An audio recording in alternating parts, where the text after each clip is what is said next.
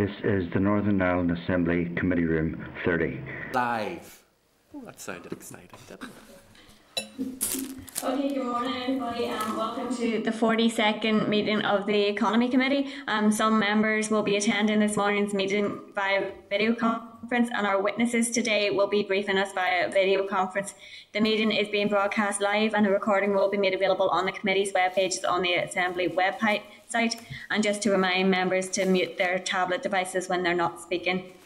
Um, the committee is receiving three three briefings this morning, um, so we are quite tight for time. So we're going to have to try and adhere to the indicative timings for each of these um, to try and get through everything. Um, so if if members don't mind, we will try and adhere to um, one question at a time for members and um, bring people back in if we do have time. So, Peter, I don't think we have any apologies unless there's. Chair, John Stewart has offered apologies, so we'll note that. Okay, thank you.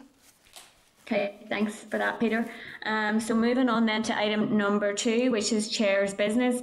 Um, and if members can uh, refer to page five of your pack, there's a response from S- FSB with their views on the trade bill. Um, the committee had sought views from our stakeholders in relation to the trade bill. The trade bill is now moving to the report stage in the House of Lords on the 7th of December. Um, and members will remember that we, we have discussed um, the trade bill previously in relation to having not yet had an LCM in respect of that. So um, it's to note unless members have any other comments that they want to make. Um, Peter, if you want to flag to me if people are. Chair, Mr. Stalford. Um, yeah, yeah, happy, happy to note that, but just under chair's business, because I, I, think it would have fallen uh, to you as the chair of the committee. At last week's committee meeting, I had asked that we write to the department for their assessment of what the level of unemployment is likely to be once furlough comes to an end. Have we? We, we have a response. Oh, good. Um, it's it's difficult to pin down figures, um, but we, we have that in the pack. So oh, sorry, I must have missed no, it. No, no, you're fine. I think we do anyway. Hmm. Um, I'm consulting my people because the pack tends. Did they give us a number? Um, actually, no. We we don't have a number. I'm trying to think. Am I confusing it with something else? We will get there. Okay. If, let me let me work on that in the time being. That's no, grand. Sure. We do have a response, Peter, in relation to the question that we had put about the, the cost of um, trading in, in terms of Brexit. Is that maybe? That's what, yeah. what I'm thinking about. So we haven't had the other one back yet. Okay. We haven't had the other one back yet. Thank you. But Thanks. it's in. It's in, Chair. The question's in. No problems. Um, okay, then, so there is also a draft letter which I believe members have in front of them, uh, which Peter circulated earlier. Yeah. Where's? So, Where's the letter? I emailed it to you this morning, maybe about mm. 15, 20 minutes ago. Yep. Right. It's the one from the, the four chairs uh, about student uh, mental health and social and financial well-being issues. So the, the um, Chair, if you want to give a bit of background of where that came from. Yeah, sure. Okay, so if members recall, um, I think it was the week before last actually that we had agreed that we would reach out to the other committee chairs um, who have a remit in respect of the, the student issues that have been raised with the committee in relation to uh, mental health, hardship, well-being, those, those type of issues. So the um, chairs of health, communities and the executive office met yesterday um, morning and we had a, a, some discussion around the issues uh, and we agreed that we would jointly to the First Ministers highlighting the issues and, and seeking a collaborative executive approach to dealing with the, the student issues. So um, if members have that draft there in front of them to have a look at, and um, if they would be content, then that we would forward that letter to the other committees to seek their approval um, for sending it to to the, the First Ministers. Chair, uh, Mr Middleton would like to make comment. Yeah, sure. Thanks, Chair. No, it's just to say that I, think it's a, a, very good letter uh, and it's an important one. Um, I know when I questioned the Health Minister uh, this week around you know, in terms of the health advice for, for the second semester, uh, and, and well, it, it, wasn't overly clear. And in fairness, I know there's feelings around uh, the Department for Economy and, and, what role it's playing. And, and I think that we do need someone really to grasp this issue and provide clarity for the students. So I think this is a very good letter, Chair. So thank you. Thanks for that, Gary. Um, does anybody else want to, to make a comment in respect to that? No, I would agree with. Agreed. Agreed. Chair, I would agree as well. Okay, Chair, that if Well, members are that. content, Yeah. we'll, uh, we'll forward that on to the other committees with the hope that we will get it cleared this week and away on Friday. Thank you for that, Chair. Thanks, Peter. Um, okay, so moving on then to item number three, which is our draft minutes. There is a copy of the draft minutes from last meetings with, or last week's meeting on the 25th of November at page eight of your packs. Are members content that these are an accurate reflection of the meeting? Agreed. Agreed. Thank you. So moving on to item number four is our briefing from the Northern Ireland Human Rights Commission, the Business and Human Rights Forum.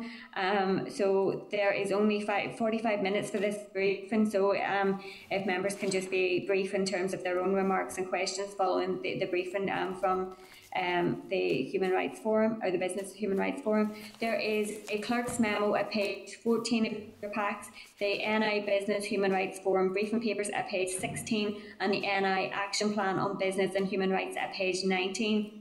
Um, the forum meetings are held three times a year, and to date, meetings have focused on a range of issues relating to business and human rights, including modern slavery, the impact of Brexit on business and human rights, poverty and mental health in the workplace, and the impact of COVID 19 on business and human rights. So, if I could welcome to this morning's meeting um, Les Allamby, who is Chief Commissioner of the Northern Ireland Human Rights Commission, and Glenn Bradley, who is Chair of the Business and Human Rights Forum. Um, so if they can please be brought into the spotlight and if I hand over to yourselves to make an opening statement and then we will bring members in. Thank you. Thanks, Caoimhe. Can I check? Can you see me and hear me? We, we can, We can hear, you, but okay, we can't Les, see you. not See you. Okay, well, that's probably the lesser of two evils. So See the window. if I just press on, is that okay? Le- Les, your camera's pointing in the other direction. If you can reorient it, um, there, there may be a button for that, but if not, we'll, we'll just go ahead. Um, sorry, it's way beyond my technical competence, I'm afraid. So uh, I'll just talk if that's all right. Um, and you can, um, I'll leave it, I'll leave what I look like to your imagination. Um, but thanks for the opportunity. Uh, I know time is um, pressing. Um, it, really appreciate the invite this morning. And I'm going to start by making a few brief opening remarks on the forum and its work, and then hand over to our chair, Glenn Bradley, who will outline why adhering to human rights is good for business, and then happy to take any questions. Um, the lineage to the forum comes from the UN Guiding Principles on Business and Human Rights, which was unanimously endorsed by United Nations in June 2011. And in a nutshell, they require governments to respect, protect, and fulfill human rights and fundamental freedoms.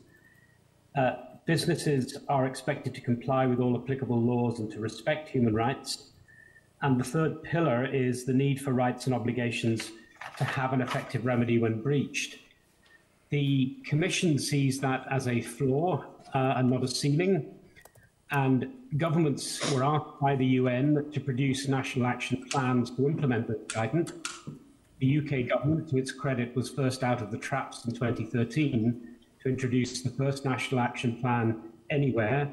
It was refreshed in 2016. Not a great document, I have to say. Ireland produced its own in 2017, and the Business and Human Rights Forum had an involvement in, in discussions with the DFAT on that. But the background to why the Commission set up a Human Rights Forum was that in 2013 we published a document on public procurement and human rights. And what that document found was that there were there was an extensive legal and policy framework for public procurement, but almost no reference of human rights standards and the need to comply with them in procurement. We procure around 2.7 billion pounds worth of goods and services from government departments and public uh, and arm's length bodies. So we are a you are as a government and and uh, and uh, public bodies a, very extensive purchaser of services, and therefore this is important. So we decided to set up the forum. Um, you've outlined the the work. Uh, it's a broad-ranging forum. We deliberately set the bar low to be involved. We have private companies uh, from manufacturing, legal, recruitment agencies, building firms, government departments, public bodies, uh, academic organizations, um, trade unions, and developmental NGOs um, all participate, along with umbrella organizations like the Federation of Small Businesses. Um, but it's not simply a talking shop. We've done some practical work. Um, one of those was the uh, partnership with the Department of Finance to produce the guidance note on procurement and how to ensure that human rights best practice is embedded in procurement. Uh, we've done work with the two universities. We've held a number of moots for business school students. Uh, we organized a lecture by the owner of People Tree on how to run an ethically based um, fashion and retail company. We are in the second year of work with UB in developing a module on human rights, um, which is part of what we see as the next generation. Um, I can give you an example of um, the work we've most recently done. We held a meeting in October with the uh, main speaker is the uh, Sara Thornton, uh, the chair of, of the Independent Anti-Slavery Commissioner. Uh, the Minister for Justice was in attendance and spoke, and the um, Chief Inspector of uh, Criminal Justice. And um, that looked at the question of how we embed, uh, and a quite difficult question, how we deal with modern slavery, particularly looking at Brexit, where we have both an open border and a desire to make sure that we um, prevent human trafficking and modern slavery. So it's practical issues that we're dealing with. The business plan that you have in your pack um, is our attempt at a first draft of a national action plan for Northern Ireland on business and human rights. Um, we're very keen to uh, look to get others to endorse that. Now the Assembly's back. Um, we would be very keen, I think, to have a joint meeting with the committee at some point in the future. Um, and at that point, I think I'll stop there and hand you over to Glenn to kind of give you the why, in practice, human rights is, is important. Thanks. Okay, thanks very much, Les. Can everyone hear me okay? Yeah. Okay, great. Thank you, Chair, and everyone in the committee for having us. I'll just continue. Les has brought us up to 2020, but I want to take it slightly forward to 2030 and then we'll come back to where we are now. Our planet faces massive economic, social, and environmental challenges. To combat these, the Sustainable Development Goals uh, define global priorities and aspirations for 2030. They represent an unprecedented opportunity to eliminate extreme poverty and put the world on a sustainable path. Governments worldwide have already agreed to these goals, and now it's time for business to play its part. And the reason it's, it's time for business is that within the 2030 Agenda for Sustainable Development, Article 67, which is agreed by all 193 UN member states, is unambiguous when it states private business activity, investment, and innovation are major drivers of productivity inclusive economic growth, and job creation. We acknowledge the diversity of the private sector, ranging from micro enterprises to cooperatives to multinationals. We call on all businesses to apply their creativity and innovation to solving sustainable development challenges.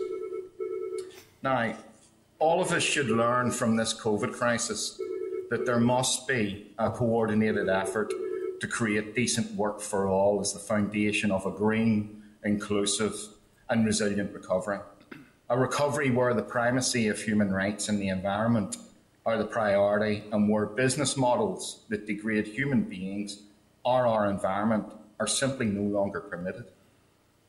Within the Northern Ireland Business and Human Rights Forum, we understand the business case for the Sustainable Development Goals. We are helping our members define priorities and map their value chains to define impact areas. We are, have modelled a scope of goals and, and key performance indicators that our members can expedite in action to meet the SDG business commitments with carbon neutrality by 2030. However, it's not just about the environment, and I must reiterate that. It is about human rights due diligence, anti corruption due diligence, and evolving labour standards. It's simply about doing business responsibly to solve human or labour rights issues and abuse via recognised initiatives, and I emphasise recognised initiatives because some aren't that assure workers are free from exploitation and discrimination and work in conditions of freedom, security, and equity. It's about advancing the communities in which our influences, corporates are felt. So, in simplified terms, human rights, including workers' rights, are defined in a body of international conventions which states adopt and implement through their local laws. And please note there are some key rates that apply were adopted by a state or not. The ETI base code, the Ethical Trading Initiative, is a simplified interpretation of core workers' rights as an aid for businesses and corporates and companies. The United Nations guiding principles provide an internationally agreed framework for understanding and acting on the duty of business in the field of human rights. And the Sustainable Development Goals are a set of goals with indicators that set a development framework to enable and measure the progress for all. So, in summary, it's about human rights, labour standards, anti corruption, and environment. 11 of the 17 Sustainable Development Goals are inextricably linked to human rights and the balance of well being or the environment, i.e., protecting the planet for generations to come and by delivering zero carbon and respect to Mother Earth. It's about ethics, it's about a circular economy, it's about health and equity, and it's about environmental protection. Thank you.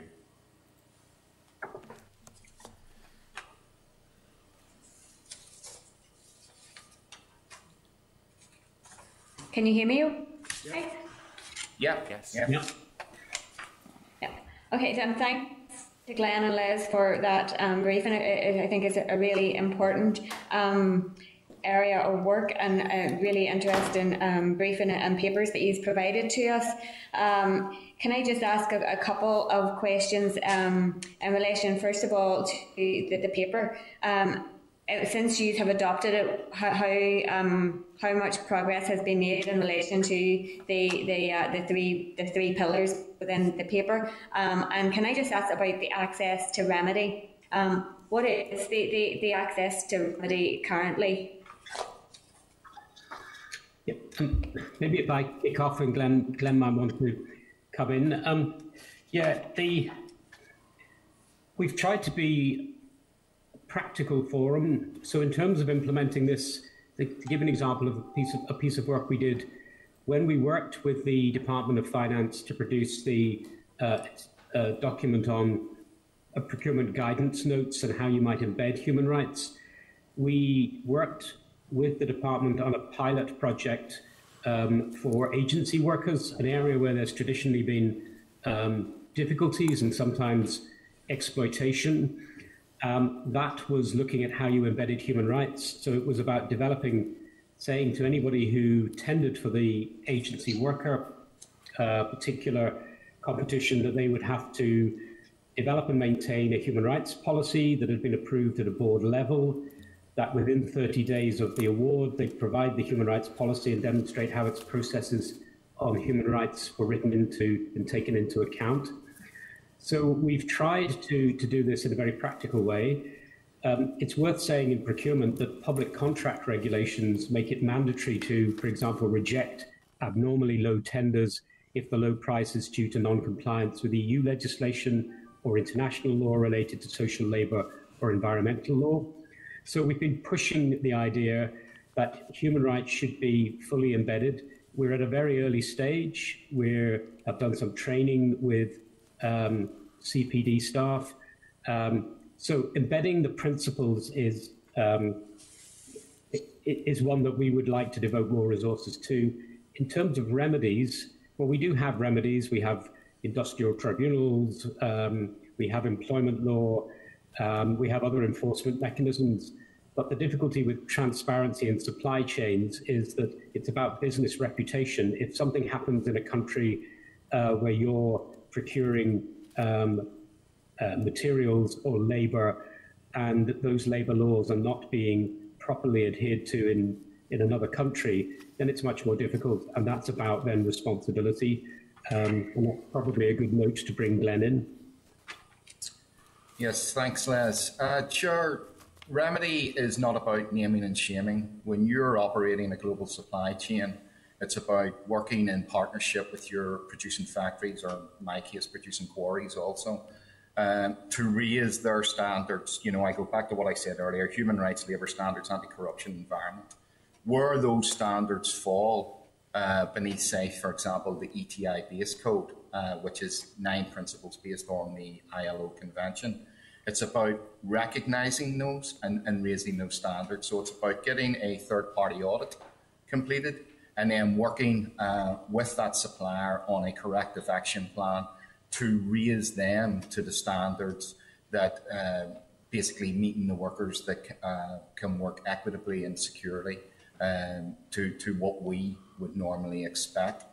Um, it is difficult. There is absolutely no doubt about it, you know, but it is now regulated for. If we look at Section 54 of the Modern Slavery Act, it calls for uh, ethical transparency within global supply chains. So it very much puts the responsibility on corporates and business trading over 36 million to do that.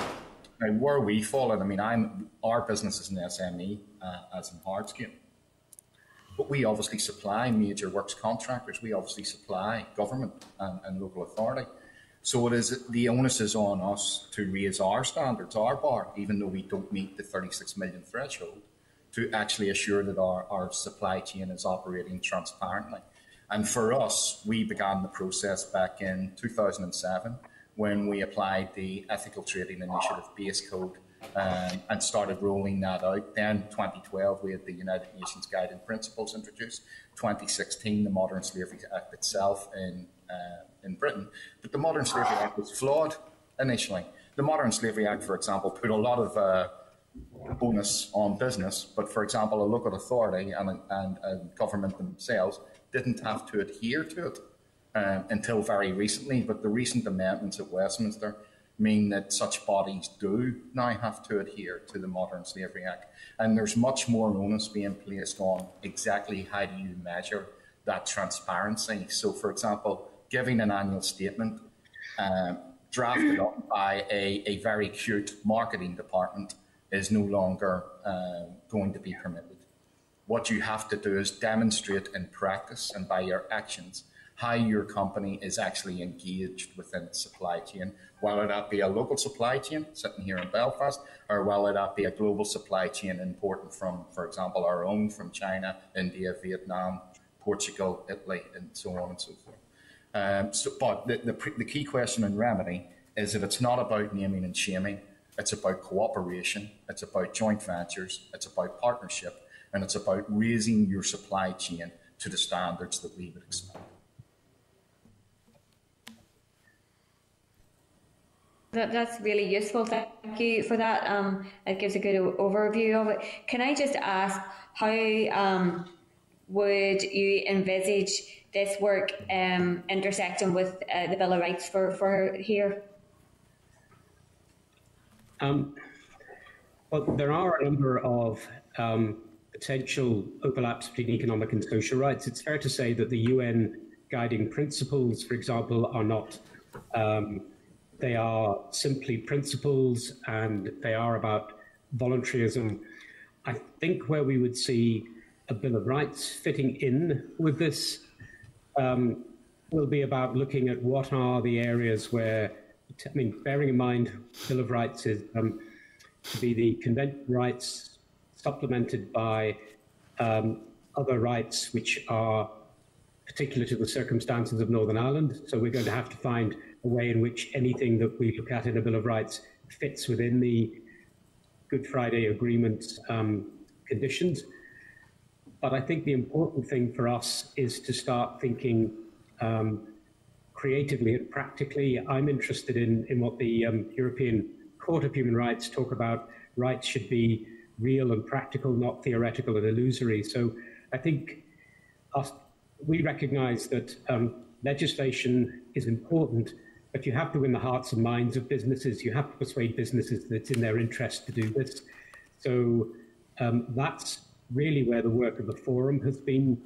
Um, I think if we can build on that in the Bill of Rights, all well and good, but we've got to win people's hearts and minds in the first place, and that's not done primarily by legislation, um, although that is a driver. It's done by people realizing it's not just the right thing to do, but that it's good for business to do this. And, and Glenn's company, Hardscape, is a really good example of that.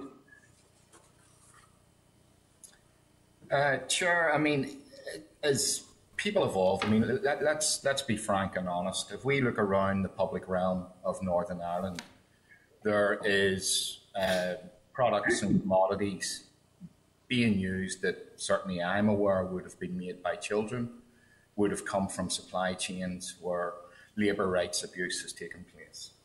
And that happens because of a lack of diligence. At the minute, the entire process for business is voluntarily or is voluntary. Um, but that's going to change. The, the implementation of what's coming in the Modern Slavery Act is going to change that. People themselves are evolving. People, the COVID crisis, I think, has has made people realize, you know, we cannot keep damaging our planet and, and, and our resources. And there is a, a real drive that uh, corporate companies move beyond paper CSR to a demonstrable way in which they are um, not degrading human beings or the environment within either their own company operations or supply chain. And I think as that evolution takes place, um, which has already begun, we are going to see, specific to Northern Ireland, that our, our Bill of Rights, when they, they evolve and happen, happen will, will have a, a social justice aspect to them, which will include um, corporate responsibilities, business responsibilities, um, to, to basically come in line with the Modern Slavery Act, Section 54, uh, the United Nations Guiding Principles for Business Human Rights. You know, and, and how that happens, you know, certainly from our case, working to the UNGPs and the ETI base code, actually improved the commodities that we sell. We were able to improve tolerances because we were retaining uh, employment things, uh, employment principles, uh, and, and the, the, value chain, and therefore we were getting longevity. Uh, people, because obviously it's masonry, so the skill set was improving. Um, so it's about a business recognizing that ultimately this is the future. SDG 30s are the future. It's about them defining their priorities, mapping their value chain. There's a lot of companies are great at their operations, but they don't know who their tier one, tier two, three, four, five suppliers are. So it's about them mapping their supply chain and defining the impact areas that they know. So, for example, if you're importing from Portugal or dealing with a supplier in Portugal, logically, because it's a European country where there's the ECHR prevails, your, your risk is minimal. But if you're importing from China or India or Vietnam, the risk is huge, particularly from China. Uh, you know, which despite the gloss is the worst human rights abuser on earth. Um, so it's defining how you can have impact, you know, put real change into those impact areas. And then modeling the scope of your goals. So again, coming back to China, it's also a restricted country. It's a, a communist country. You know, Glenn Bradley of Little Old Hardscape in Ireland going over and waving a, a flag and demanding change or insisting on change isn't going to get very far people who are working in labour rights advances and in human rights in China are being disappeared. You know, so we've got to be realistic of the country issue. But it's about a business recognizing that, understanding that, saying 34% of our supply chain comes from China. Yes, there is a risk. This is how we've mitigated the risk. We can't get beyond tier one. So while we're satisfied that our producing factory in Xiamen is tickety boo, we actually can't guarantee it in the quarries because the quarries are state owned and we're not allowed to go into those quarries. And it's about being honest, it's about being transparent, and it's about doing it. But the initial setup is business accepting that this is the way of the future and that while it's presently voluntary, that regulation is coming in. The main driver in our patch, Modern Slavery Act, Section 54, uh, transparency in the supply chain. But as the SDGs roll out, this will increase. If you think of the UK government yesterday, they have just committed to the to, to 10 serious principles um, in regard to the environment. Uh, but that will then happen with human rights, with, with labour standards, and with anti corruption, because those are the four components to the SDGs. Um, thank you very much for that. Um, and I, I, I think I, I, agree with you, Glenn, in, in, relation to I think COVID has really shone a light on um, our, our need to be much more aware of um, how people act in general in terms of, of business and um, you know be more aware of all of the kind of supply chain issues and everything else as well and um, and the impact that, that we are uh, and how we live our lives has on the environment as well as as um, public health so I have lots of questions, but I have five more members wanting to come in as well. So I'm going to hand over to Stuart if um, Stuart can hear me okay? Yes, Chair, thank you very much. Uh, and thank you to both of you for, for your presentation. When you say um, this is about developing good practice uh, uh, and not, um, not, not being uh, draconian in relation to human rights issues, is that really not just mom and apple pie? uh, and without actual action by governments and indeed by individual suppliers, um, are we ever going to drive forward the state of human rights in business in terms of slavery and, and in terms of, of, of uh, practices in countries with, with low or no uh, with, with low human rights practices? And you just have to look back on, on the whole issue of, of PPE and where all of it came from do we really know how it was manufactured, who it was made by? Were, were, were there people actually working in slave-like conditions? Were there children involved in, in all of that? Um, and while I appreciate that this is uh, all about trying to encourage and to highlight, uh, what do you, what do we actually, what do we actually have to do uh, when abuses are highlighted either to a nation or to an individual supplier uh, in relation to this. Where are you getting your information from? Is it coming from people like Human Rights Watch and others that are um, identifying very difficult issues in factories and manufacturing processes? And if I can just briefly uh, reverse that discussion as well, what happens uh, when you're trying to supply your goods into these countries? How satisfied are you? Uh, how satisfied are we in the United Kingdom, and particularly here in Northern Ireland, that machinery or equipment that is being exported isn't going to be u- isn't going to be used by people who are being abused? Thank you, Chair. Yeah. Um, if, if, I start, sure, there's quite a few questions in there, so I'll try and pick up some and then again pass, pass you over to Glenn. Um, I think the answer is there is it has to be a mixture of both a legislative, a robust legislative framework, but it has to be about hearts and minds. Um, and the reason I say that is we're much better at putting in place a legislative framework. We have the Modern Slavery Act. If you have a turnover of more than 36 million, you have to put in certain documentation. But the danger is that that can become formulaic, and we think the job's done because we've we've put in place some legislation. So it's clearly much more than that. Um, the idea that selling to businesses that it's in their best interest to do this, um, it, I think it's really important because that tends to be, I think, what drives businesses. It would be a glass half full. I really think it's important that the fact that government departments and its arm's length bodies procure over 2.7 billion means that even in terms of our procurement processes, we can drive this forward in, the, in a way that's meaningful.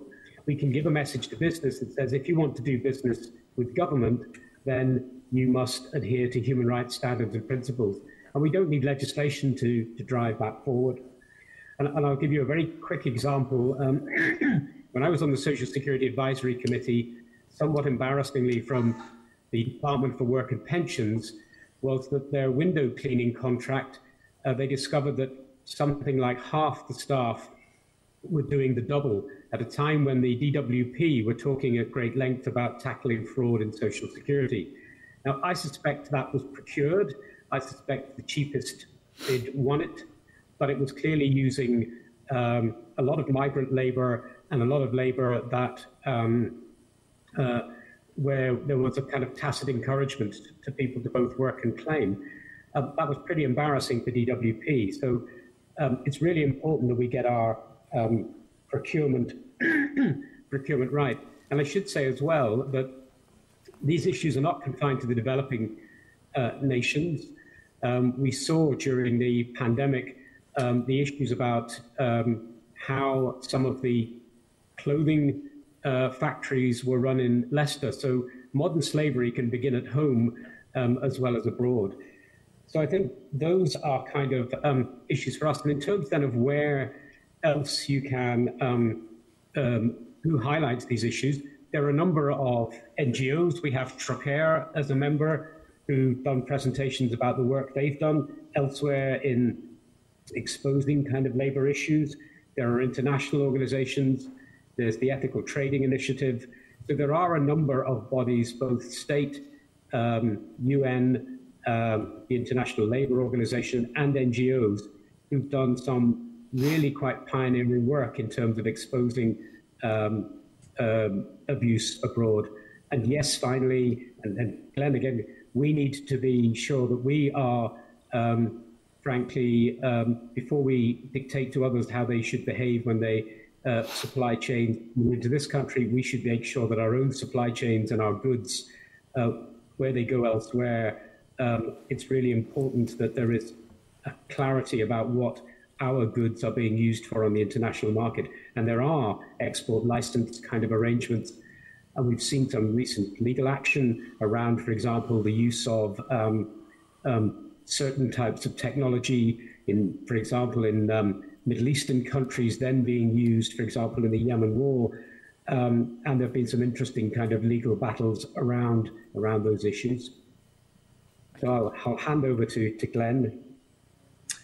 Um, as a businessman, someone with over 36 plus years working life experience as a logistician or as a commercial entrepreneur, the voluntary method has failed. Um, for me, it is time for more regulation.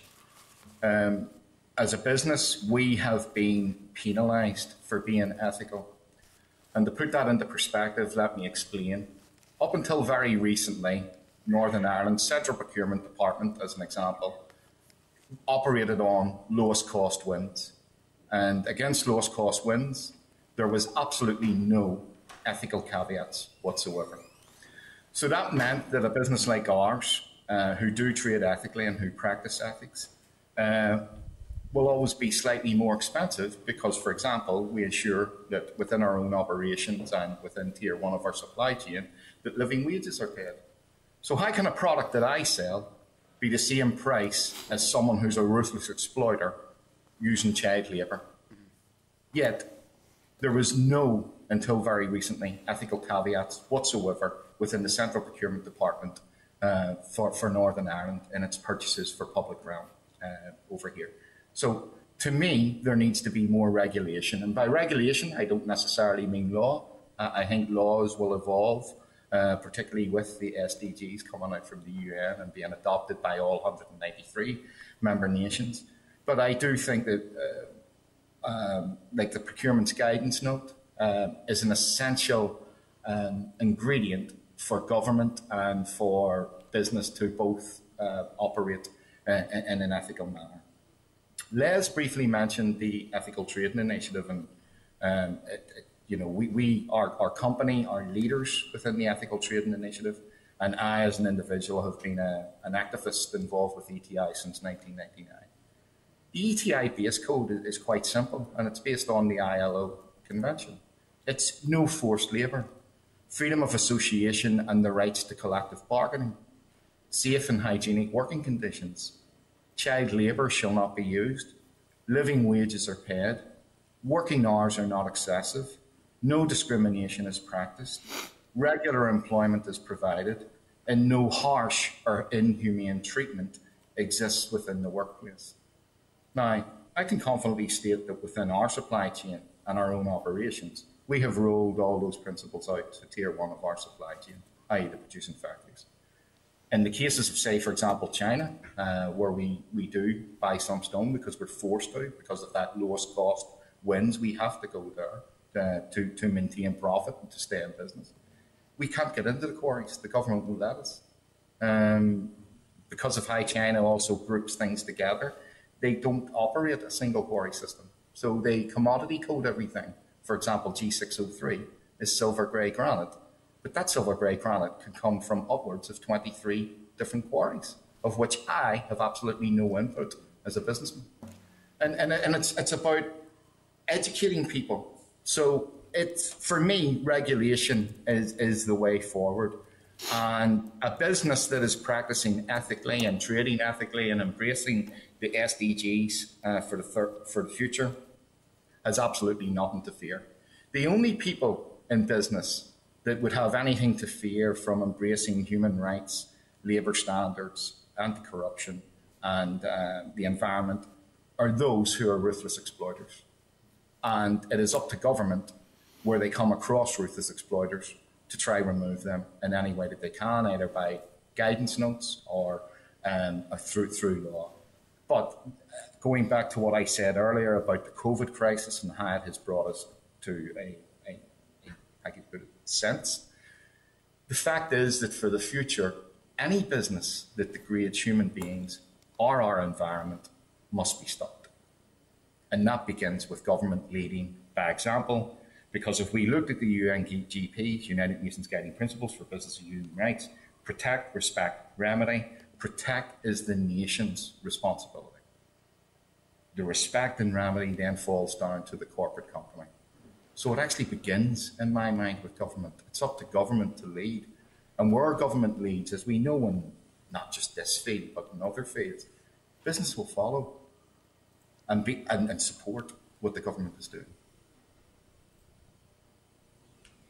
Um, thank you very much for that. Um, I'm going to move on then to, to Sinead and just to remind members um, that, that we do have two other briefings and so we can keep our remarks brief.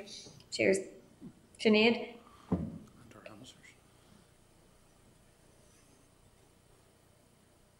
Hello, can you hear me? Hi.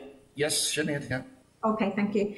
Uh, thank you very much both for your briefing uh, this morning. Uh, and Glenn, uh, I just want to pick up on, on, what you said in relation to uh, responsible businesses. Businesses on the whole do want to be responsible. Um, however, uh, following voluntary um, activities around um, around uh, rights is not the way to go. It has to be uh, written in legislation, and that's the way in order to, to make sure that uh, uh, that rights of all workers uh, and all products, etc., are, are, respected. So um, that's a movement that I certainly would be um, upholding. Uh, the thing that I want to talk about, or the issue that I want to talk about, and perhaps uh, Les maybe can can give me more information on this, is in relation to your document in Pillar Two, where you talk about uh, corporate responsibility in respect to human rights, and you're talking about developing a human rights-based approach in the publication and adoption of employment policies, and you actually specifically talk about gender equality uh, and also about childcare and family friendly policy. Uh, I am particularly concerned about both of those at the moment as a result of COVID. Um, because uh, you know women are more adversely affected in terms of jobs uh, and redundancies coming forward, and also we have seen um, childcare uh, policies uh, and, and childcare in in, in, in, in every aspect. Um, was was a very very difficult problem, and I think that there's an awful lot of um, rights in, in, of women that are under under pressure at the moment. And, and I'm wondering, you know, are you specifically looking at this? Because I see as one of the key areas of is uh, is about zero hour contracts uh, and how uh, people's rights are actually uh, blown out of, of the system. And, and sometimes, um, I know, Glenn, you are optimistic in terms that COVID has kind of shone a light on, on how we need to protect people. But sometimes when businesses are under pressure, um, they don't behave as well as we would like them to. So, the, you know, there are there are uh, particular sectors and particular groups of people that are under pressure at the moment as a result of that. And also then, uh, if I can really get you to reflect on what impact do you think Brexit is going to have on um, employment rights generally uh, uh and basically human rights in particular. Uh, and we you talked uh, uh, about the European Court of Human Rights and what impact of us leaving um, the EU um, is that going to have uh, in development policy? And do you think that there's any appetite within the UK to actually diverge from some of the the human rights that are held within within the European Union? Sorry, that's an awful lot, but um, there is an awful lot in this document that I would really like to be interrogating a lot further. Uh, thanks, Sinead. I'll be brief. I'm, I'm conscious of time. So, uh, in terms of workplace, just to give you three quick examples of where um, we've looked at issues.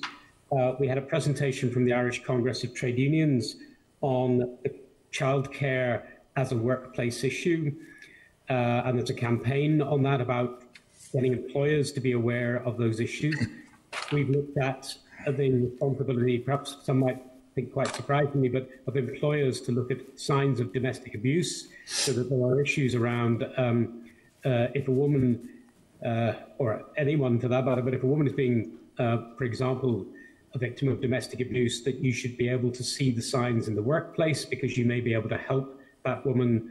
Um, and that's good for your own pro- productivity, but it's the right thing to do. Many employers don't think of those issues as, as workplace issues. And we did um, a piece of work on looking at some best practice in the building industry around mental health of workers, particularly those who are sent away on contracts away from home and how work was done there.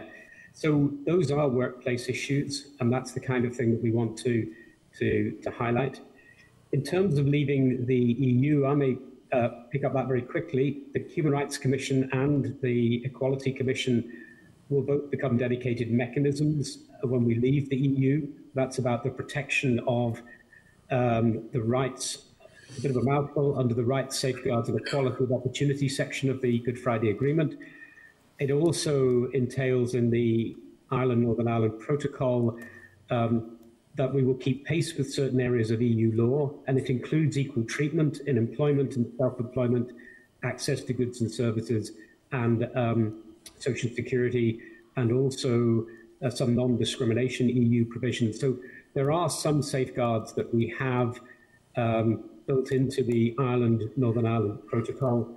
So that's something that both ourselves and the Equality Commission will want to make sure are robustly monitored and, and maintained.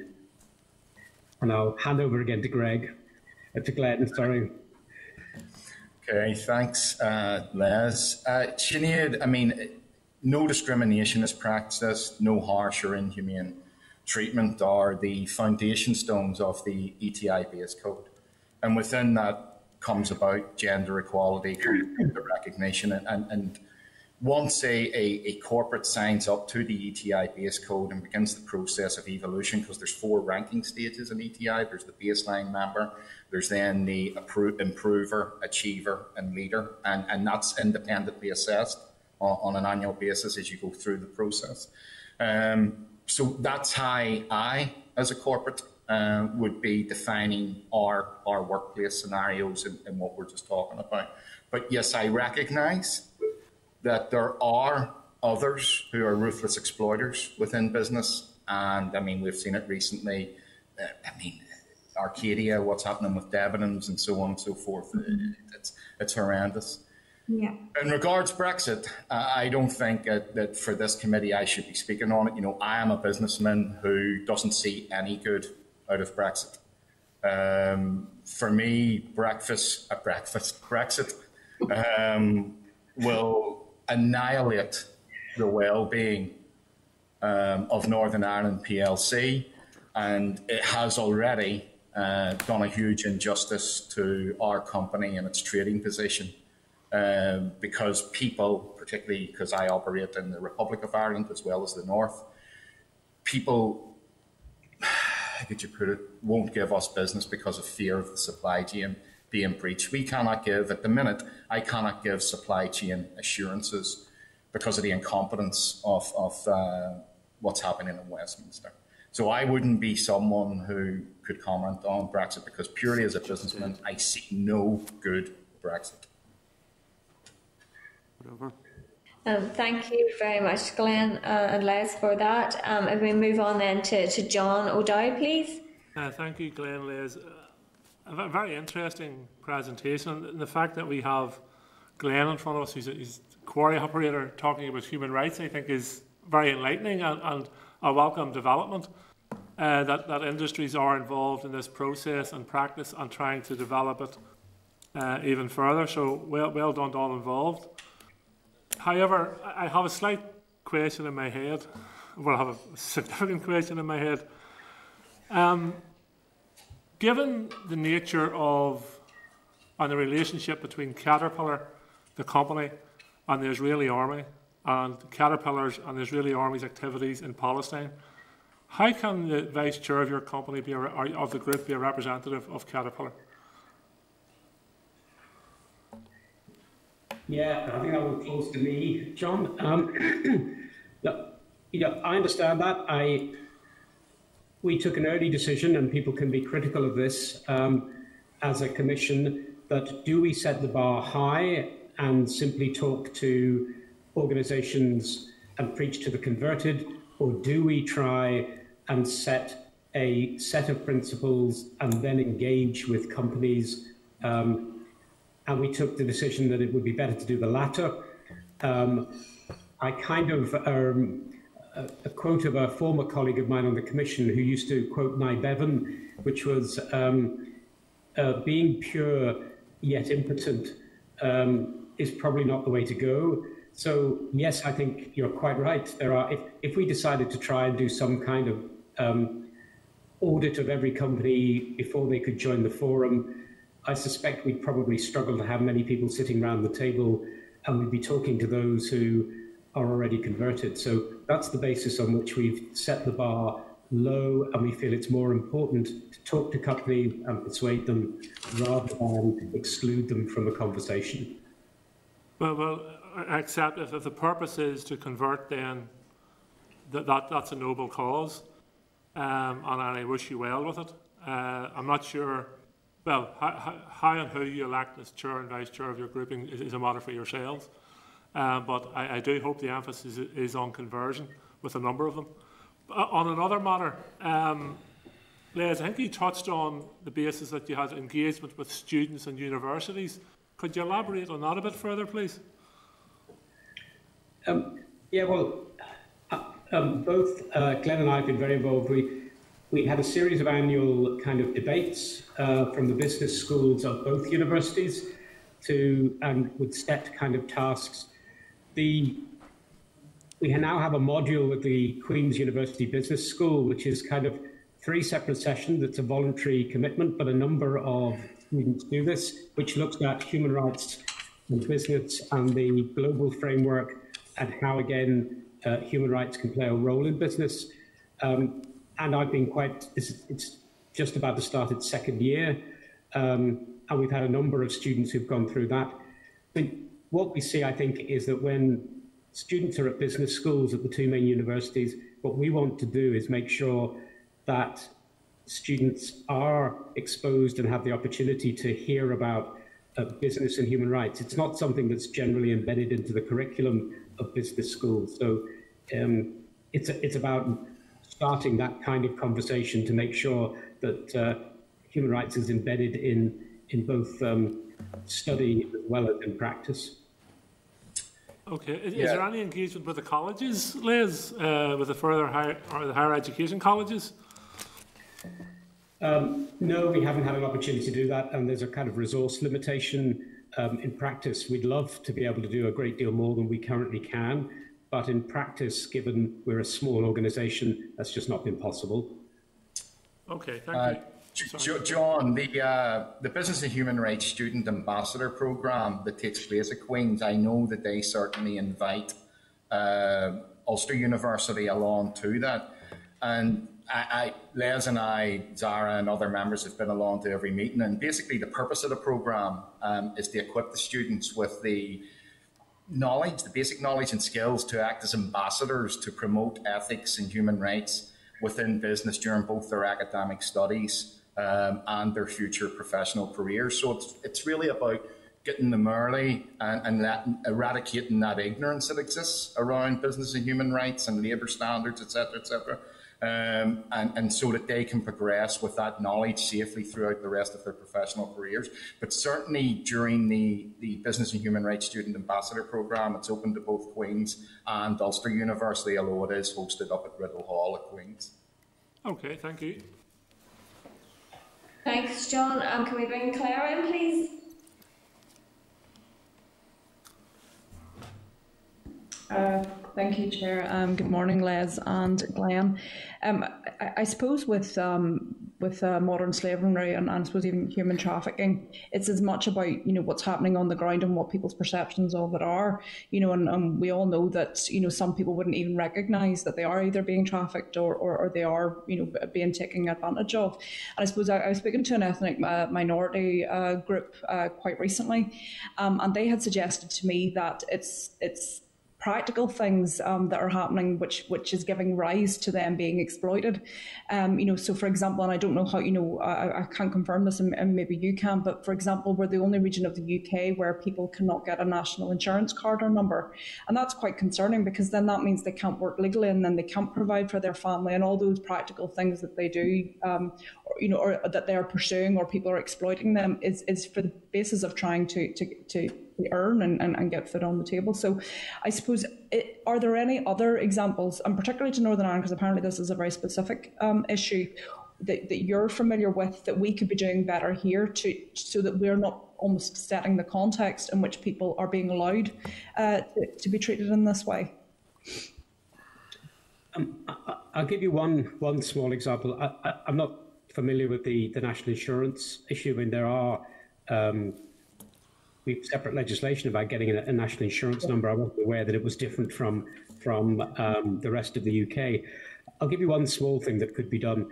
I was very impressed when um, at a presentation at the forum where in Scotland, for example, every police officer has a small laminated card with six signs of human trafficking. So if, for example, you visit a house in multiple occupation and you have a lot of people living in under one roof, um, what you might look out for if you're visiting because of a, a, a domestic incident or whatever.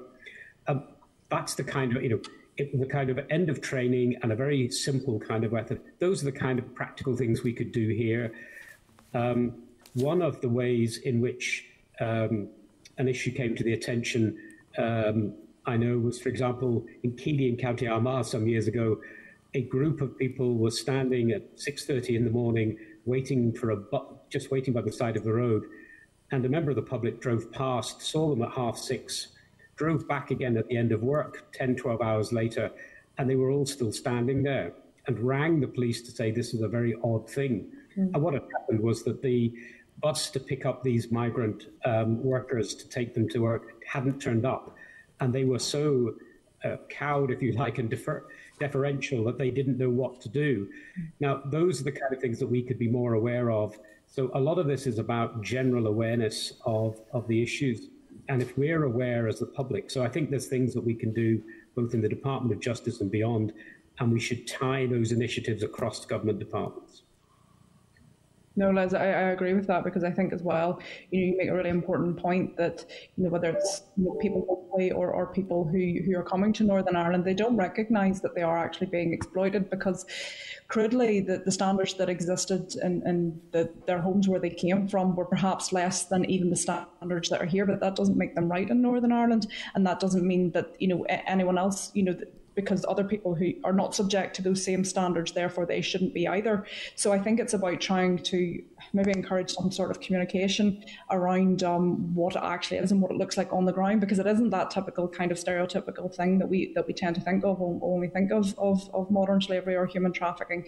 And you know, I would say there, were, there are an awful lot of people who will be surprised that some of the services perhaps that they are using are actually being um, uh, staffed by, people who who are um, who are being exploited. And, and I think we need to get that message out there more clearly because when we talk about this you know, you're right. It, it, it is happening in the UK. It's happening in, in, in GB, but it's happening in Northern Ireland. And I would think an awful lot of people might be quite shocked to learn what it looks like. And you know, and that's that's employers as well as consumers um, too. So I, you know, I, I think we need to do more in that respect. And you know, and starting from a business perspective and calling out is, is a good place to start. Claire, I mean, coming back to what uh, as a business we do, and I spoke briefly about it earlier, it's about mapping your supply chain, understanding mm-hmm. your company operation in tier one, two, two, three, right down until you're, in my case, I'm talking about the guy who's manufacturing the crates mm-hmm. that the stone goes into to bring the modules onto the shipping container. Yeah. It's about understanding that. Yeah. On the more local front, if we do think about human trafficking, how many of us have been to a car wash that's £2.50? That uh, potentially is, being operated by people that have been trafficked. You know, and it, it's about due diligence. It's about your own personal due diligence, and then in our sphere, it's about the wider business due diligence. And it comes back to that drill that I'm always saying: the four points: labour standards, human rights, anti-corruption, and environmental due diligence. And the due diligence needs, kind of with what Sinead said earlier, and myself, it needs to be regulated. Yeah. Thank you. Thanks um, we'll move on then to Christopher, please. Thank you very much. Um, I think uh, before I became a member here, uh, one of the issues that I actually worked on in a sort of backroom capacity was the Human Trafficking and Exploitation Bill uh, that uh, the Lord Morrow put through. I think a big part of um, those provisions that are there uh, can alleviate the problems of suffering, the suffering that's caused by human trafficking and forced servitude and uh, sexual exploitation. I think it requires the police to use the provisions and to to actively go after um, go after those who are engaged in that criminal activity. So, uh, I wonder if you could talk to that for me for a minute in terms of enforcement. And I just want to place on the record I think that Caterpillar are a valued local employer. Yeah. And I think it's dangerous when a member of the committee says that Caterpillar needs to be converted away from trading in a country. I don't want us to be going down dangerously close to BDS territory there, and I want no part of that. Israel. I ask you to support it. I was making a comment. If well, you don't wish I, to support it, that's okay. Well, I would suggest that workers in Israel mm. have more rights than they do uh, in the countries that neighbour Israel, particularly mm. female workers. Israel is a democratic state, and I would suggest to you that the human rights regime that, that pertains in Israel is a lot more progressive than that which pertains in the countries around it. The problem so is their human rights record in Palestine. Yeah, that's what I'm worried about. Well, I just think, well, I just think it's important that an alternative viewpoint is put on the record on that. But um, let's not get into the Israel-Palestine dispute because we could be here all year. Um, but I think uh, if you could just talk to, in terms of at home, the legislative provisions that we have, how um, you see enforcement in terms of trying to just stamp out on this sort of activity, and I suppose better education in terms of local companies being aware of the provisions that are there. Yeah. Um, briefly, first of all, I think Lord Morrow's, uh, to Lord Morrow's great credit, the um, campaign he thought to get the, the bill and, um, and Claire and her departmental colleagues. It's something we worked very closely with Lord Morrow on in my time in the Law Centre. In terms of enforcement, there are some issues around. Um, in terms of having statements and, and having a turnover of more than 36 million, we know that um, many small businesses in Northern Ireland have a much smaller turnover than that. We are uh, an economy of small business. Mm. So there are some issues in terms of the legislation and, um, and those who have a turnover of more than 36 million, we have lots of examples of, as I said earlier, a kind of formulaic response. There's almost, um, so we have to kind of move beyond that. In terms of enforcement, um, of course, you've got to be aware of it, and it is about consumer power. It is about um, making the public aware, and then it's about taking action. One issue I would mention, and we've seen this before, that um, those who are sometimes trafficked or, or in modern slavery then be, become treated as um, part of the immigration system rather than um, looked at as being somebody who's been exploited through through slavery. Yeah. Um, things have improved at times, but that's still a major issue that we look at this through the immigration prism and not through the exploitation prism. And my other issue of enforcement, and I know this again from from both Commission and, and uh, Law Centre days, we had examples of um, exploitation and it raised issues of employment law, criminal law, immigration law, uh, finding um, solicitors firms that know all the aspects of this so that you can deal with it holistically is quite difficult. I think we're getting better. There are more firms dealing, for example, with immigration law now. Um, so we probably, in an ideal world, should have some specialist resource that can deal with uh, with this, um, because otherwise, if you want to tackle all of the issues, then you really need to have a range of skills that aren't always in one place. Mm. Thank you. Um, I would just. Oh, sorry. No, go ahead. Sorry. Um, I would just like to uh, reiterate some of what Les said. You know, what Lord Morrow did uh, in starting the ball rolling. I mean, Northern Ireland at that time was ahead of the game in Britain, certainly in, in doing that. Obviously, it focuses very much on the human trafficking side of, of uh, the Modern Slavery Act, whereas I come at things more from a transparency of supply chains and responsible procurement and to, to, to the Modern Slavery Act. Um, but yes, I would just like to to, to reiterate, or certainly from, from my endeavours, my thanks to Lord Morrow for what he did. On the thing to do with Barbara uh, being vice chair, Caterpillar, and so on and so forth, um, I said it earlier. It, our aim is not about naming and shaming.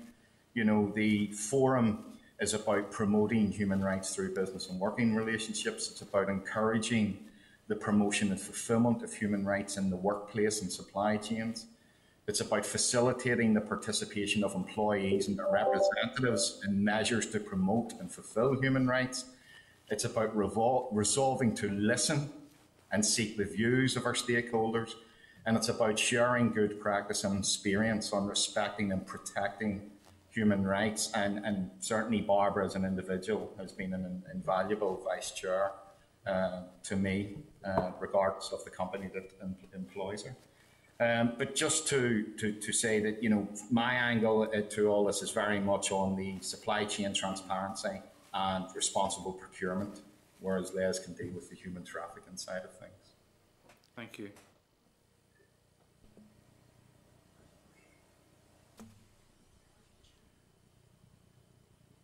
Can we bring the chair back into the spotlight, please?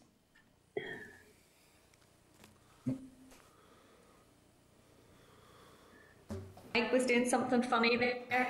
Apologies. Um, Les and Glenn, thank you both very much for your briefing. And as I said, I know I certainly have um, many more questions that I'd like to kind of discuss with you, but we are a little bit tight for time today. So um, Peter was suggesting that perhaps if we could arrange for a, an informal briefing with yourselves as well, if you would be willing for the committee.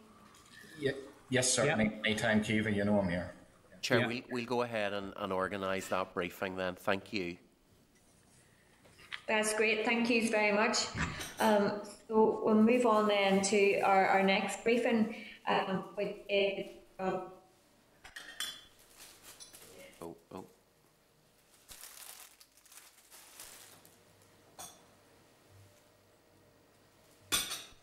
Chair appears to have frozen.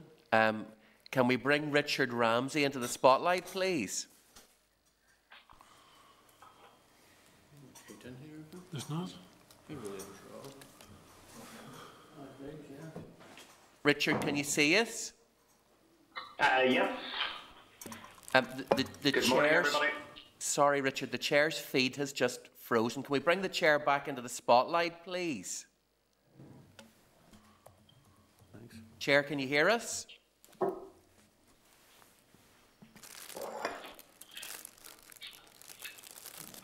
Sinead, can you hear us?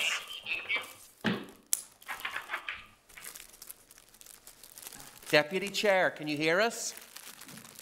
Yes, I can. Yes, um, I can. We, we seem to have lost the chair. Can I just ask you to step in and introduce Richard Ramsey, um, item five on the agenda? Okay. Um, Members uh, of the committee has agreed to seek a briefing from the economist to gain greater understanding of the recently announced voucher-based scheme in order to help uh, stimulate the local economy. And we're going to hear this morning from Chief Economist of Ulster Bank, Richard Ramsey, who's no stranger to this committee. And uh, I think we'll just hand over to him now to make his opening statement. Thank you. Okay, thank you, Deputy Chair. I, I, suppose what I want to do just uh, to begin with is kind of con contextualise how we got to uh, this place where we're talking about high street vouchers. And I suppose if we think of the last, uh, in the aftermath of the global financial crisis, the policies that uh, were played, first of all, you had the central bank, the Bank of England, slashed interest rates uh, eventually from five, five and three quarter percent to 0.5 which was a, a, lowest level in over 300 years. Uh, you also had a VAT cut, a temporary VAT cut from 17.5% to 15%, which then was subsequently increased to 20%. That was kind of uh, flat rate uh, across uh, everybody, wasn't targeted at, at, all. And I suppose if you think back to those policies, the interest rate uh, reduction led to uh, people with mortgages benefiting to the tune of hundreds of pounds uh, per month, uh, better off because of that.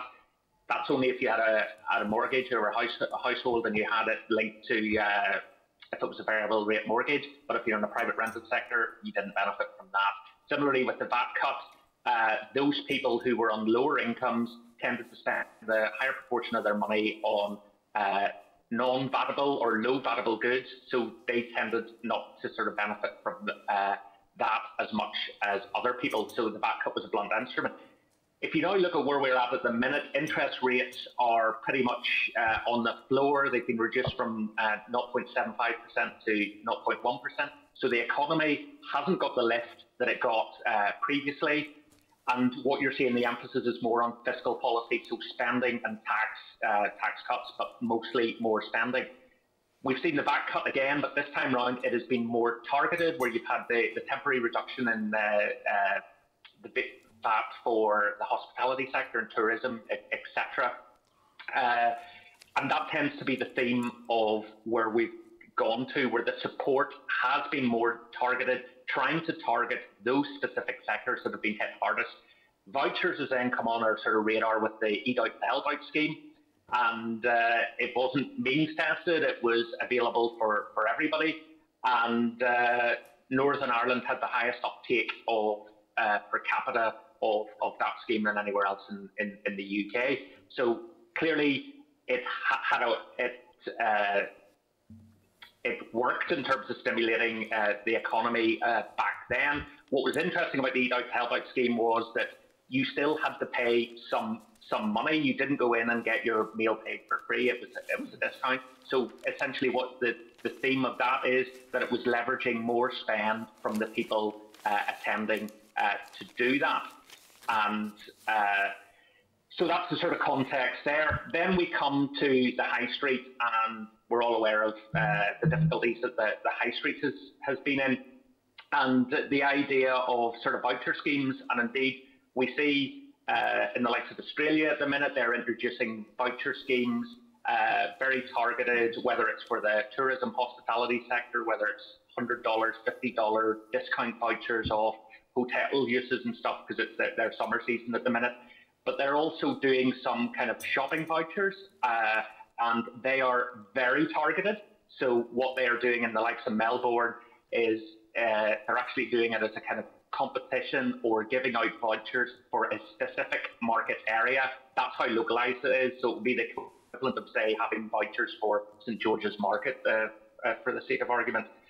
So I suppose we can come to the high, street, high street voucher scheme for Northern Ireland. I'm not aware of the details of how exactly it's designed or could or, or, or would work.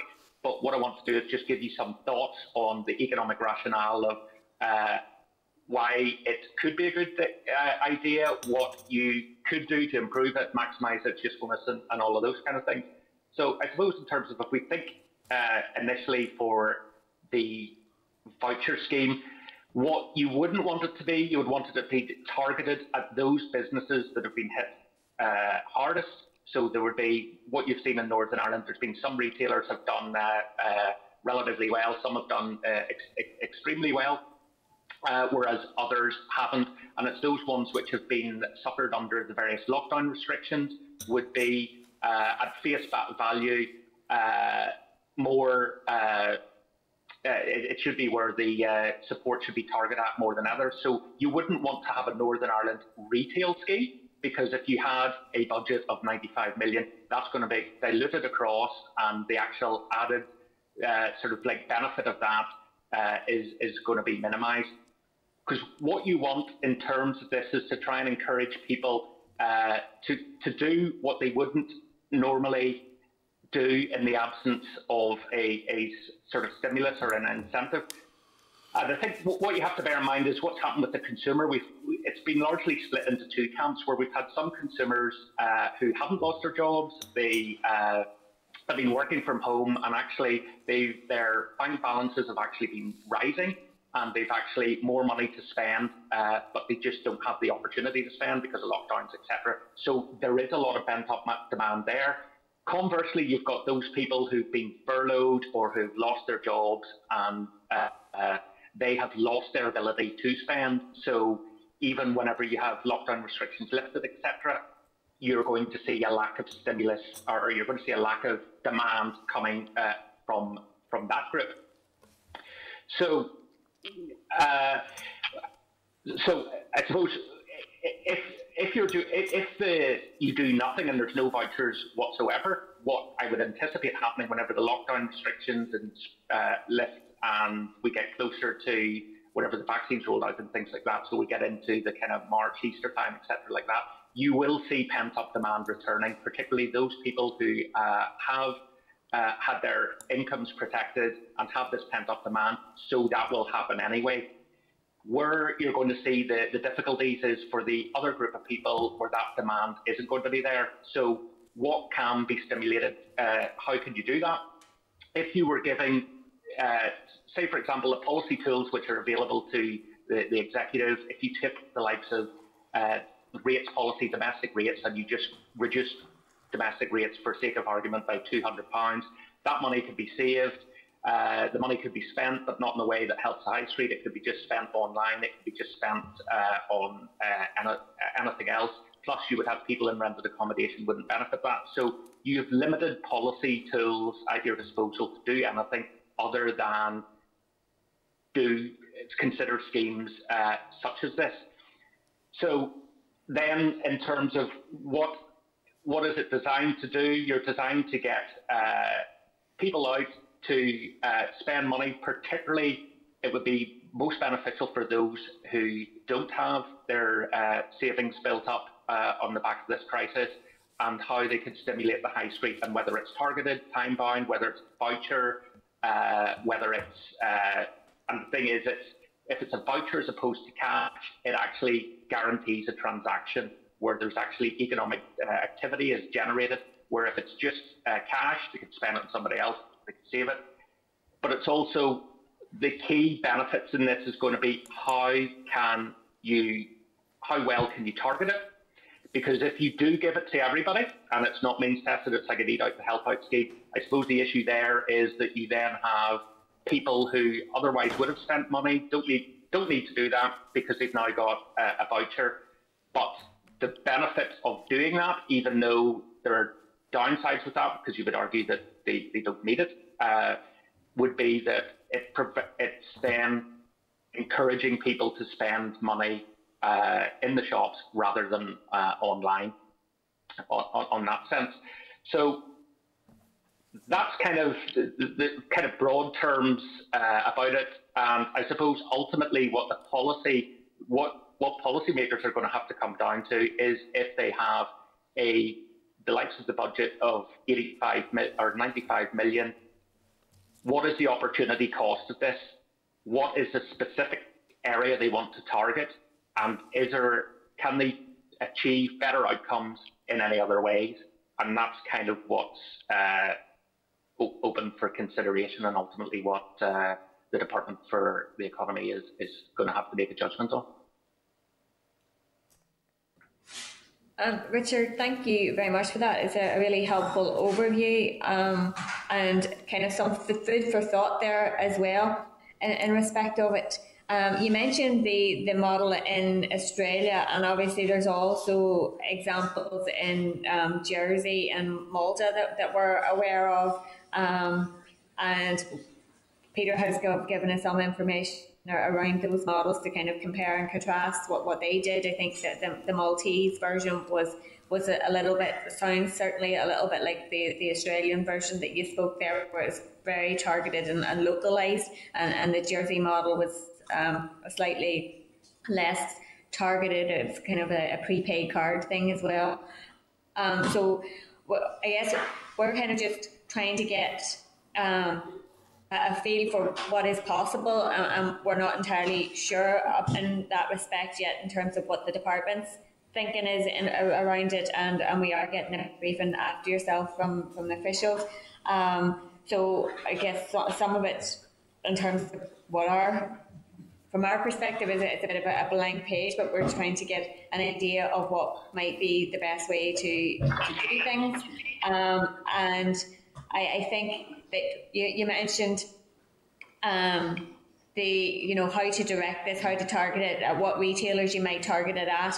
Um, and then I, uh, I, suppose on the flip side of that, there might be an argument about giving consumers the choice and how they want to spend that themselves as well. Um, and uh, you know it's still generating income, still generating spend, and potentially additional spend to what, what people might be be intending to do.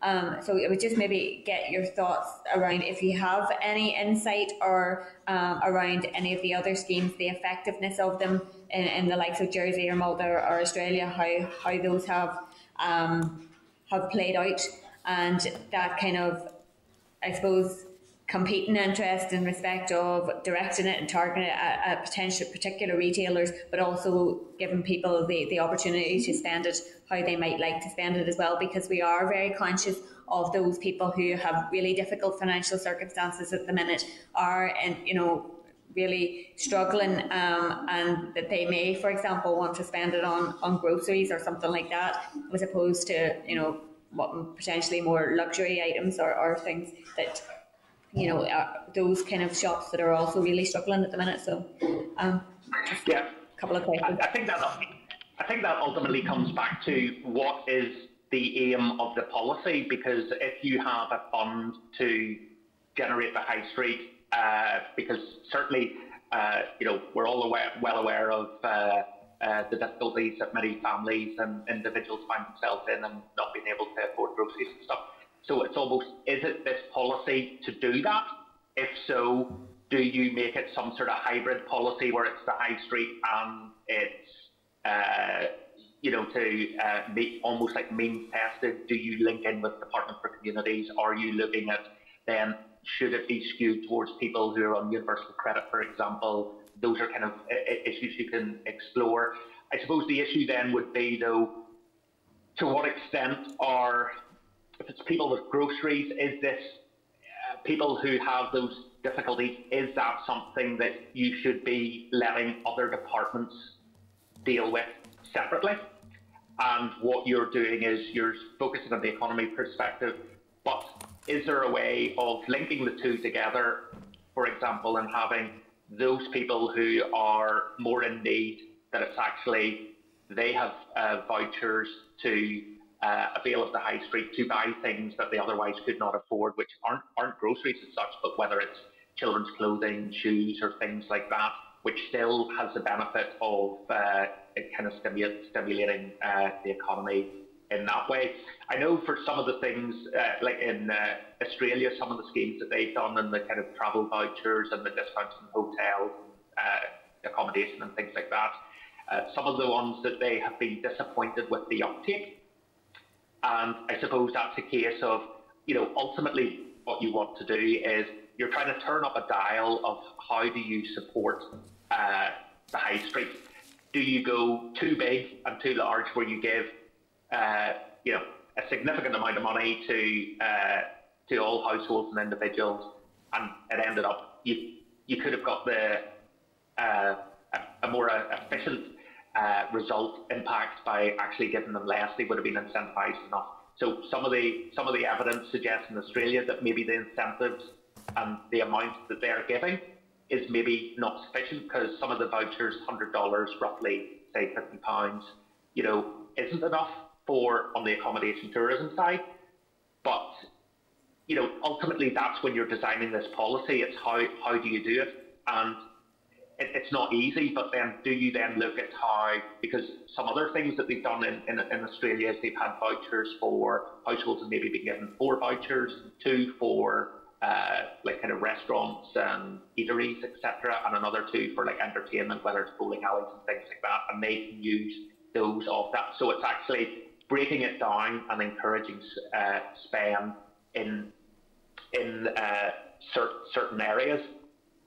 So, but uh, yes, there's also the idea what what you said is almost like people voting with their feet. If they actually give vouchers, that they could go and uh, almost benefit the uh, local high street or shop that they have some sort of affinity with, uh, where it's useful in that regard. But again, I would say if it comes back to do you want people to be spending this on petrol, diesel, groceries, all of those sort of things that essentially they would have been spending anyway?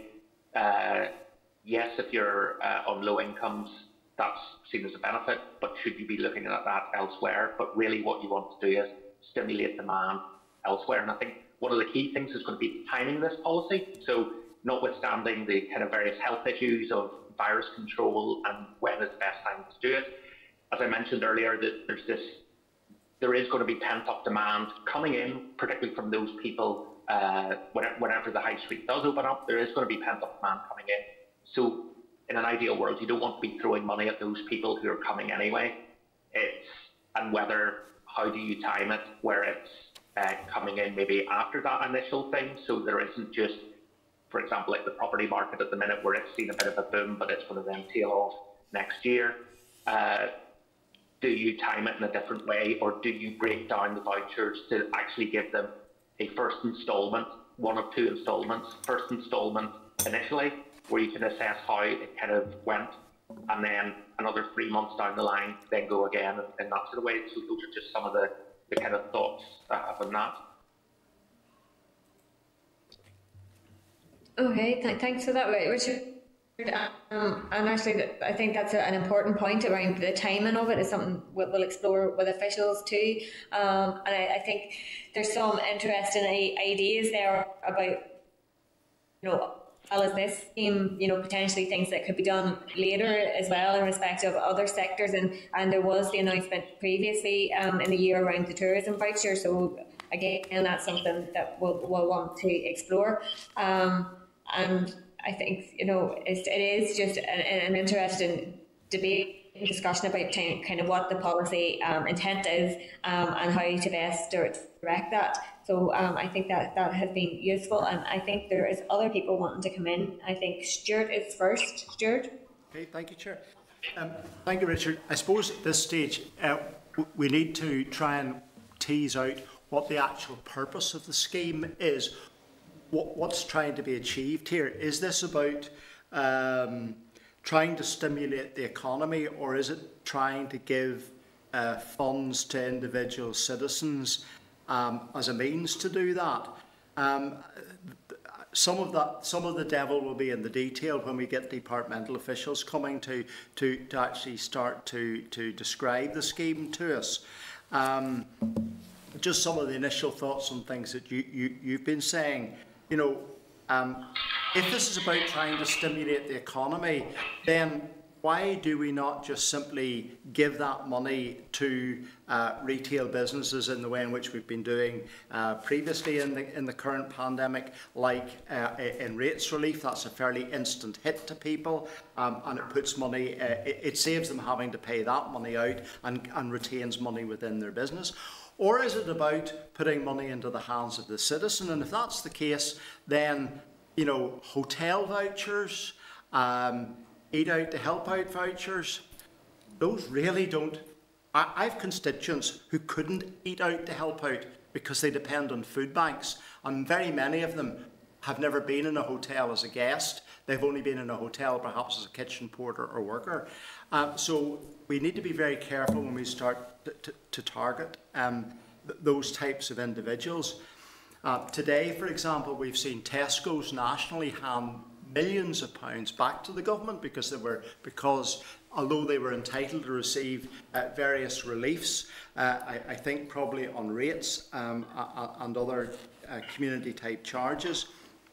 Um, so, you know, are we going to put the hands, put the money in the hands of the large high street retailers? Again, it's about what is it we're trying to achieve? Are we trying to achieve uh, some sort of uh, financial stimulus uh, to, to, to our high streets and traders, or are we trying to give money to the public to, to, to get a benefit out of it? Or maybe it's both of those things that we're, we're, we're trying to do. Um, it, it's, I mean, for example, it's been, it's been said today by, by, by at least one person that the state has been uh, strangling uh, and destroying livelihoods. Is that really the reality of where we're at in Northern Ireland, or are we actually trying to defeat a very serious health pandemic? Just first of all, whenever you're talking about the uh, rates relief, and I, I, saw that about uh, Tesco having the money back in Northern Ireland, the rates relief did have exclusions where it was more targeted as who was uh, able to avail of that. You also have to remember that you can't the, the finance minister has also extended uh, rates relief uh, well into uh, the end of next year. I, I, think it is. So businesses aren't. You cannot get any more rate relief for those businesses. That's a cost. Their problem is actually getting an income. If you just give them another grant, they don't have to be open. They don't have to do anything. No economic transaction has to actually take place. Their employees don't need to be there. Uh, you know, so what this is, what you want to do when stimulating the high street is you want to stimulate, stimulate activity. Well, with the likes of, say, if it's a hotel vouchers or restaurant vouchers or things like that, where it actually means that uh, the demand does come back. There's food producers and the supply chain, which is involved in supplying that restaurant or cafe. They're all uh, that all keeps moving and it doesn't grind to a halt. Whereas if you just give relief or you even just give a cash grant, that doesn't necessarily guarantee or incentivize uh, that anything positive from an economic activity or transaction point of view uh, actually uh, takes place. On, that basis, they, they, they help out, they, they eat out to help out, uh, arguably uh, was a massive contributor to the second wave of coronavirus. So timing will be essential in relation to when this type of funding would be rolled out. The last thing we want to do is have a contribution to a third or fourth wave of a very, very serious illness. Absolutely, uh, timing, is, timing is key. And it's also inter interesting, if you think of the Eat Out to Help Out scheme, it was there were restrictions in the time of when it could be used, so it was not at the weekend. Um, ultimately, well, you can end up introducing so many caveats and so many rules and regulations with the scheme that you make it very difficult to actually implement. But you know that could be targeted, or whether it's even staggered, where certain households or individuals would get their vouchers at a certain time, and other people would get it a few weeks later, and, and things like that. But obviously health concerns uh, are, an, uh, are an issue which uh, have to be taken into account. Thank you. Thank you, Chair. Thanks, Stuart. Um, can we bring in Gordon? Okay. Thanks, Chair, and thanks very much for your presentation. Uh, Richard, um, as I see it, I believe it. You know, it should be seen as an economic stimulus about uh, trying to stimulate the economy, and I think it's a great time. Let's be positive about the economy and about our country. The news that we got today about the vaccine now being approved and being accredited and has now been available or will be available shortly, I think is great news. And, and all of this be, can be seen as a positive um, factor. And, and we want to see um, the economy growing, growing and starting to turn the corner uh, after all the restrictions has been, which have been necessary, and um, otherwise they wouldn't be there. They were necessary because of a health ep epidemic that had to be addressed. Um, but I believe you know it's there to stimulate the economy. The issue about means testing, I think, uh, I don't believe it should be means tested. I think there's this always this uh, argument that uh, working families who are, are, living on the limits and have not much spare money to uh, to go around, those families, I think, obviously would, would, would receive that support. In many ways, are excluded from support, and there's been considerable support for such for other families through the Department of Communities, and that's been welcome and, and well received, and, and focused on those in need. But I think it's uh, it, it's a real opportunity for everyone, everyone to get to get a voucher and to get out there and to spend and to boost the local economy. Come probably it'll probably be the springtime. How it's managed is going to be a challenge. Um, whether we can restrict it to the high streets, personally, I do think the like of the business parks who have done well out of the restrictions and generally have been open and where people can drive to, and we all do it, all drive to pick up your, your goods and, and, and, and go back home again. Those areas you wonder how it can be managed in a fair way. Uh, you do see that it needs to be a real focus on the high street. Those independent businesses that today are closed, while the multinationals around our towns are open, there people, and we all have got it, you know, the feedback in relation to that, that they feel that it's unfair. Um, the other points, just a couple of other points. Um, Richard, while you're there, um, there seems to be a lot of positivity in relation to the construction industry. I've got a report here from the, the Belfast Telegraph business section. They're talking about Northstone. Construction giant reports 11.7 million pound profit this year, in the past year. Um, boss of Northstone NI, parent says, parent company says all furlough support has been repaid.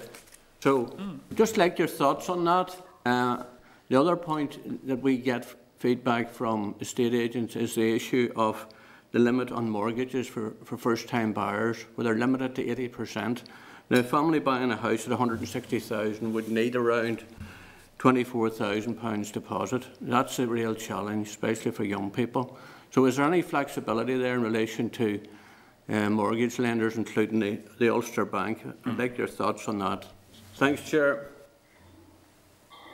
Well, in, ter in, ter in terms of the maximum loan to value uh, that is uh, the deposits that are required, I think it's about 85% is what a lot of lenders, including ourselves, are, are offering.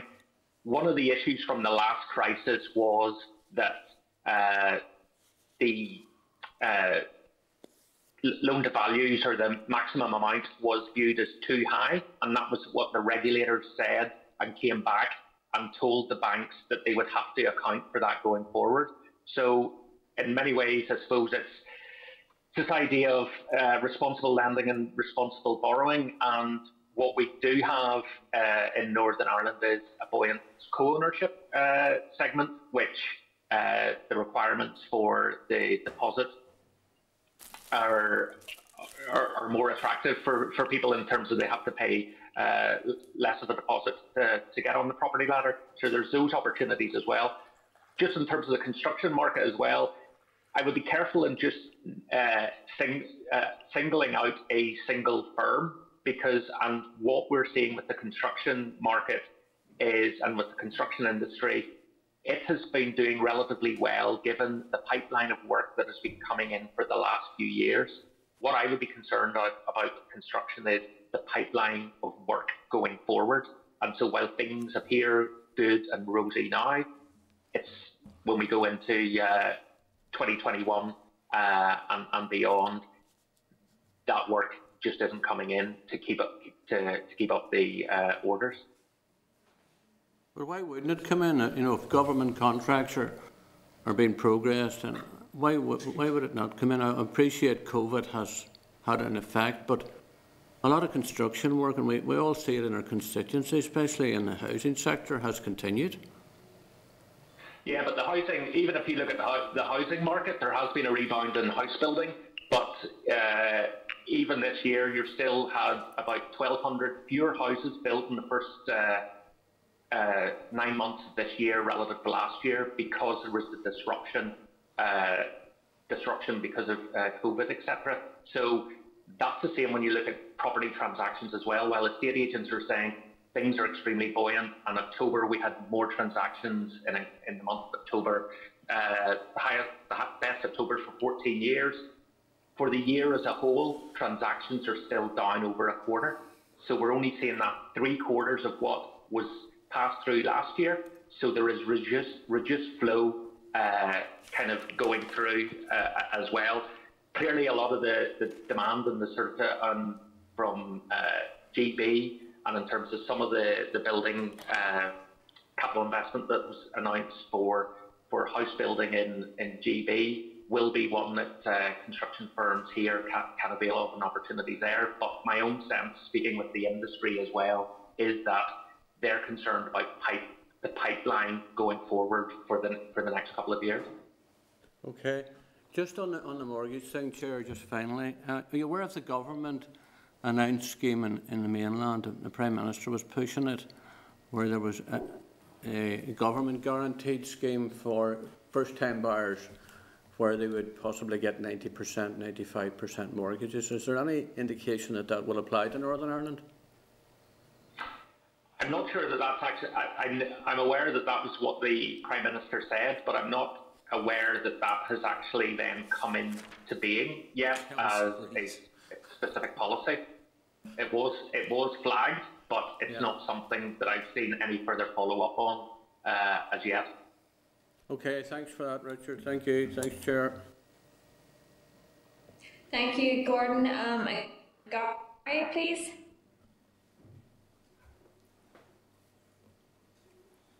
Can we bring Gary Middleton into the spotlight, please?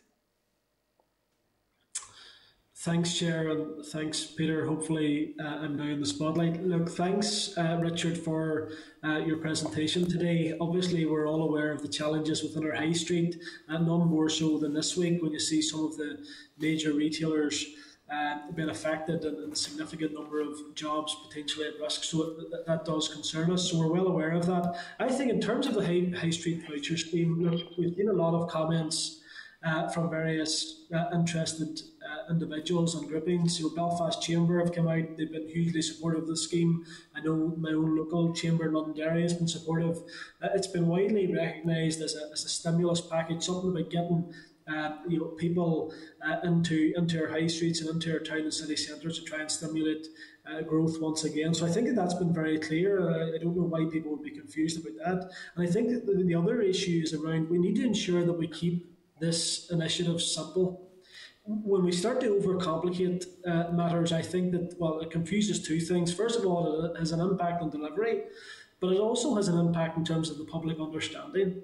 So it's important that we don't overcomplicate a, a, an initiative that has been widely welcomed uh, by all within the sector. So we need we need to take that on board. In terms of the timing of, of this scheme, absolutely, it's it's vitally important that we get the timing right. The, the timing, the, the, well, in terms of the, the, the, finance and the money, the money has to be spent. This COVID money has to be spent by uh, or before the end of March. So uh, we're looking at February March time in terms of this initiative. We also need to ensure that that coincides and works alongside the fantastic news today of that vaccine uh, coming forward. And, and, whilst we, we will obvi- obviously be cautious in terms of putting too much weight into that, we should be positive and optimistic that uh, there is light at the end of the tunnel. But we also have to work alongside um, the, the, the, restrictions and that exit strategy as we come out of those restrictions and continue to open our economy up. So all of these things have to play a part. But again, my, my, my I suppose, aim in, in all of this is to ensure that we do keep it simple. Let's not overcomplicate uh, an initiative that has been that has been widely welcomed, and that it is something that we can try and get, um, as I say, spend on our high streets. And we have to be mindful as well, because I know Mr. Dickson touched on uh, the issue of well, why not just give grants to businesses? But grants do not have the multiplier effect that this voucher scheme will have, and I think you know that's something that we cannot miss. Uh, you know, doing the same old, same old will not get us out of this crisis. We have to be innovative, uh, we have to be forward thinking, and we have to do things uh, in a better way going forward. So that, that's all I really want to say. And I appreciate, Richard, that's probably more of a statement on my part than, than a question for yourself. But I do welcome uh, your very uh, valuable expertise in this matter. And no doubt the Department for the Economy and many officials will be listening intently in terms of what you had to say. So I really do appreciate you coming today. Not at all. Uh, one, th- one thing I would just add as well is remember it's, it's also going to be for the, the retailers and the high street in how it markets, advertises, and delivers on this scheme as well, and how joined up that is, you know, and how do they, uh, you know, to maximise the effectiveness of it, not compromising the the obvious uh, health sort of restrictions, but how do they maximise to get aboard, uh, get on board, to get the message out? So, because ultimately, if you are going down this route of having retail vouchers and you're wanting to stimulate footfall and you're wanting to leverage more spend, where people are out, they're spending more, they're uh, availing of the hospitality uh, sector, uh, eating out, etc., and encouraging them uh, to want to do that and, and to spend more money. Yeah, Richard, that's a very valuable point because it is important in all of these schemes that that work, um, I suppose, it, it, it's done jointly with those those high street retailers, ensuring that the messages are joined up, that they're uh, consistent, and that the the uh, scheme is, does effectively what we're setting out for it to do, uh, which is to ensure that we can get uh, our high street retailers operating in a much better fashion than they are at this minute in time. So thanks, Richard, for that. Uh, thanks, Gary. Um, I mean, just a, a, point there on what, because I was, I was thinking of it myself as well. The money has to be spent by the end of the year, but does that mean that, and you, this may be a question more so for the officials than for yourself, the, the vouchers would have to be put in place before the end of the year, but the scheme may not necessarily have to be rolled out before the end of March. It could be timed after that. Would that be your understanding? Sorry, you asking me, Claire? Yeah. Uh, I, am not sure. I suppose in theory, if the if it was cards or whatever, and the cards are loaded up uh, and that uh, spend has been yeah. committed, uh, but you know that's that's one that the DFE officials following me will be able to answer hopefully be able to answer. Thanks. Um, Sinead, can we bring Sinead into the spotlight, please? Thank you, Richard, for your presentation. Um, what I would I, what I would say is that um, rather than just keeping the voucher scheme simple, I think it has to be really properly designed. Uh, and we do know that it is the principal part of it is that it has to be a financial stimulus, but it has to be a financial stimulus for those businesses most in need. And I think it has to be, um, you know, designed in the way that that local independent retailers can benefit from it. Um, we, you know, multinationals tend to be online um, uh, online businesses, uh, and and not everybody in the high street are are suffering from COVID in the same way. So therefore, I think the stimulus packet package has to be designed uh, properly, and that's not simple, and it's not simple to do. And I think to run out uh, with a voucher scheme that's not properly thought out about who needs to benefit from it would be would be a big mistake, and I think it would be something that would come back and bite uh, the Department for Economy. So I would say, you know, take your time, make sure you design a package that does what you want it to do, and that is uh, stimulate uh, the the local economy.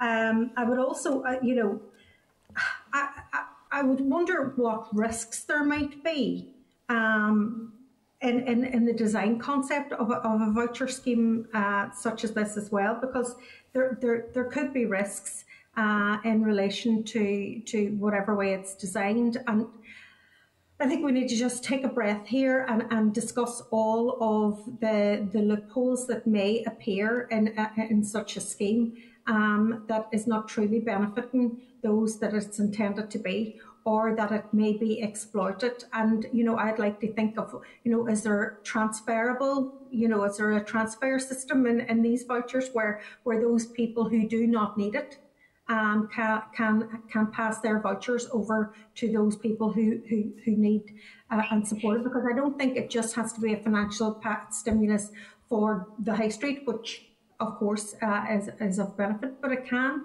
help support those that are in lower incomes or those that have been really adversely financially affected by COVID. It should be able to do both, and that means that it has to be designed really, really carefully. So uh, I wouldn't say uh, keep it simple. I think really look into how this um, is going to benefit uh, our local communities. Uh, and you know, big internet big multinationals do not need to benefit from this uh, from this type of stimulus. They are already benefiting uh, from the very nature of the structures of their bodies and organisations, and the fact that a lot of them are online. And I think that this has to be about our small Indigenous local independents in all of our high streets that's who needs to benefit from, from this package. So it needs to be carefully thought out and carefully designed.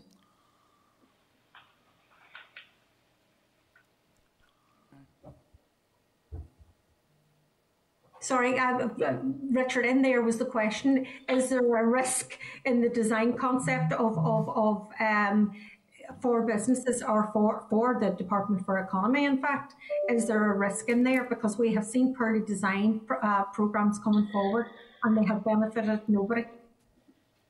Well, I think that just comes back to who it is you want to to target, and if, if it is those uh, businesses on the high street which have suffered the most, which are currently experiencing lockdown restrictions, uh, that's where you would want to target it. Uh, because uh, if you don't do that and you do it for everybody, that's just diluting the stimulus and uh, it's not having the desired effect. So that in the same way as we had with the furlough scheme, where furlough scheme was referring to when people were employed or on the payroll, you know, to me, it would seem that it's those businesses which have the lockdown restrictions applied to it, whether it's even like currently or whatever, those are the ones which are going to be uh, designed, you know, because there is there is a danger that yes, there's an imperative to uh, have money spent and use those resources, but you still want to do that as efficiently and as effectively as possible and uh, to target exactly uh, what you want, you know, because it's like having a vaccine. We don't want to run vaccine out as quickly as possible and you don't apply it right and it doesn't get the desired effect. Similarly, uh, with these kind of policies as well. Because ultimately, I think voucher schemes are going to be with us throughout 2021 in some shape or form. When you think of the culture, arts sector, theatres, all those kind of things, there's going to have to be stimulus packages of how you do that. And it's very difficult giving them rates relief or reducing their cost base doesn't do it. They need demand and that needs to be stimulated to get the income. So I think vouchers is going to be with us, uh, not just mm-hmm. for this, but maybe beyond that in different ways in the same way as Eat Out to Help Out wasn't a one-off. It's, you know, you're going to see vouchers appear in, in, in other areas. £95 million is an awful lot of money and it could do an awful lot of good um, but it needs to be very much targeted properly. Uh, uh, and let's not make a, mistake of just running it out because we've got a March deadline. Um, as I say, we've got a there's a track record within the Department for Economy for for delivering poor projects because of a rush.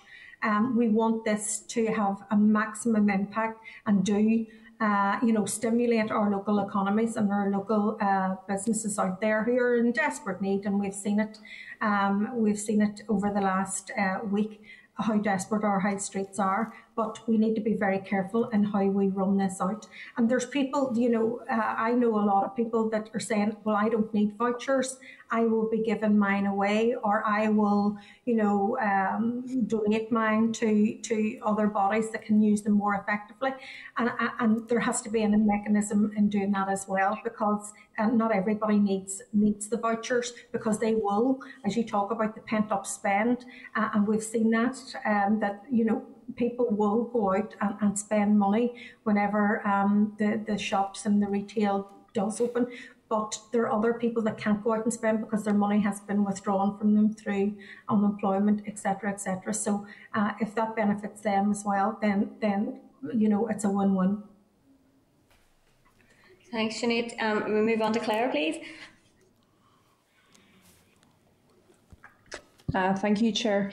Um, I, I, suppose like others, I'm, I'm, quite interested in you know how this will practically work on the ground. You know, are, are you aware of any examples where um, you can contain the use of you know a, a debit card or a, or a Mastercard within a particular postcode or within a particular type of shop? Um, because I suppose that's what um, the, the department is saying that it won't be able to be used everywhere and it'll only be able to be used in particular areas. But it, how, how does that work practically? Are there examples of that?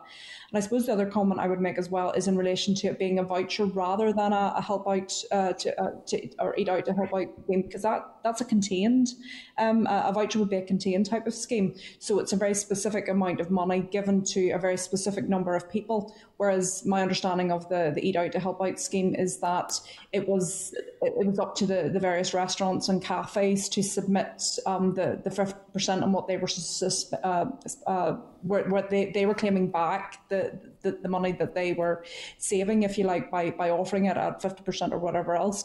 Um, and, and does that mean then schemes like this are more likely if they are contained because obviously bud- budgets are not infinite? So um, I, I, suppose it's just around the mechanism which they've chosen to use to try and understand it from a department perspective and a budgetary perspective, um, and also how it could practically work on the ground. Uh, very good questions. I'm afraid I'm probably just not not the person to deliver the answer, but yes, that those are the issues of how easy is it to contain that spend. I know, like some of the examples I was talking about in Australia, whereas my understanding was they were kind of like physical physical vouchers that you would have and hand over, as opposed to a card which you could go up and then get that sort of credited. But clearly, you know, in terms of speaking with the uh, the high street retailers who use these kind of cards, how they can be you know how this can be done. I suppose that's what you have to have to be looking at. Same with maybe whether it's the kind of electricity companies and who have all their top-up cards and things like that, or the, the mobile mm-hmm. phone industry. It's kind of think, thinking of, of, of, things like that. And yes, how how do you contain it? Because it is this. If you don't contain it, then effectively it's then the value of the stimulus has been spread and just diluted over and above, and it's not as impactful as if it is contained where it's uh, required. Yeah, and I suppose even just thinking out loud, there, loud, there are other schemes. Um, it, it's almost like you know, as a gift for you vouchers. I can't uh, recall where you can spend um, one voucher in a number of different types of shops. Um, you know, so when you're, you know, maybe when people are purchasing those at, at, for, for, gifts or, or, or uh, um, birthdays or whatever, you, you don't have to be just, I suppose, contained to one store or department, you know. So I, I wonder if the department's looking at it in that perspective. And again, that that will be a huge job for the department because it's almost the department giving their um, opinion about where you should be spending money. And, you know, I, I think that's getting into a, a, bit of a big brother kind of area, uh, you know, which I'm not overly, you know, contained about. I think you know, as adults, we all make our own choices about what we spend. So I, I think it will be difficult, but yeah, just, just thinking out loud. Thank you.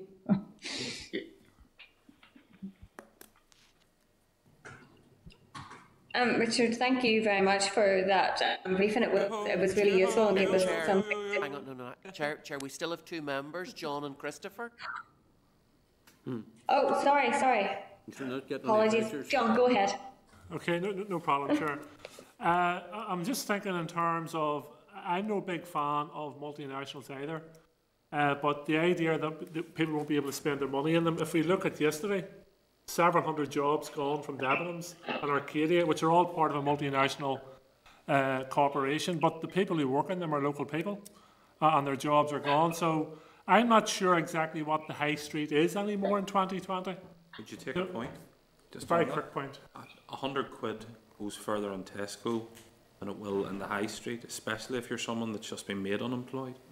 But yeah, and the it also has to be said that you're more likely, and I, I have to emphasise, I'm not a big fan of multinationals, but you're more likely to be a member of a trade union, and you're more likely to be paid above the minimum wage.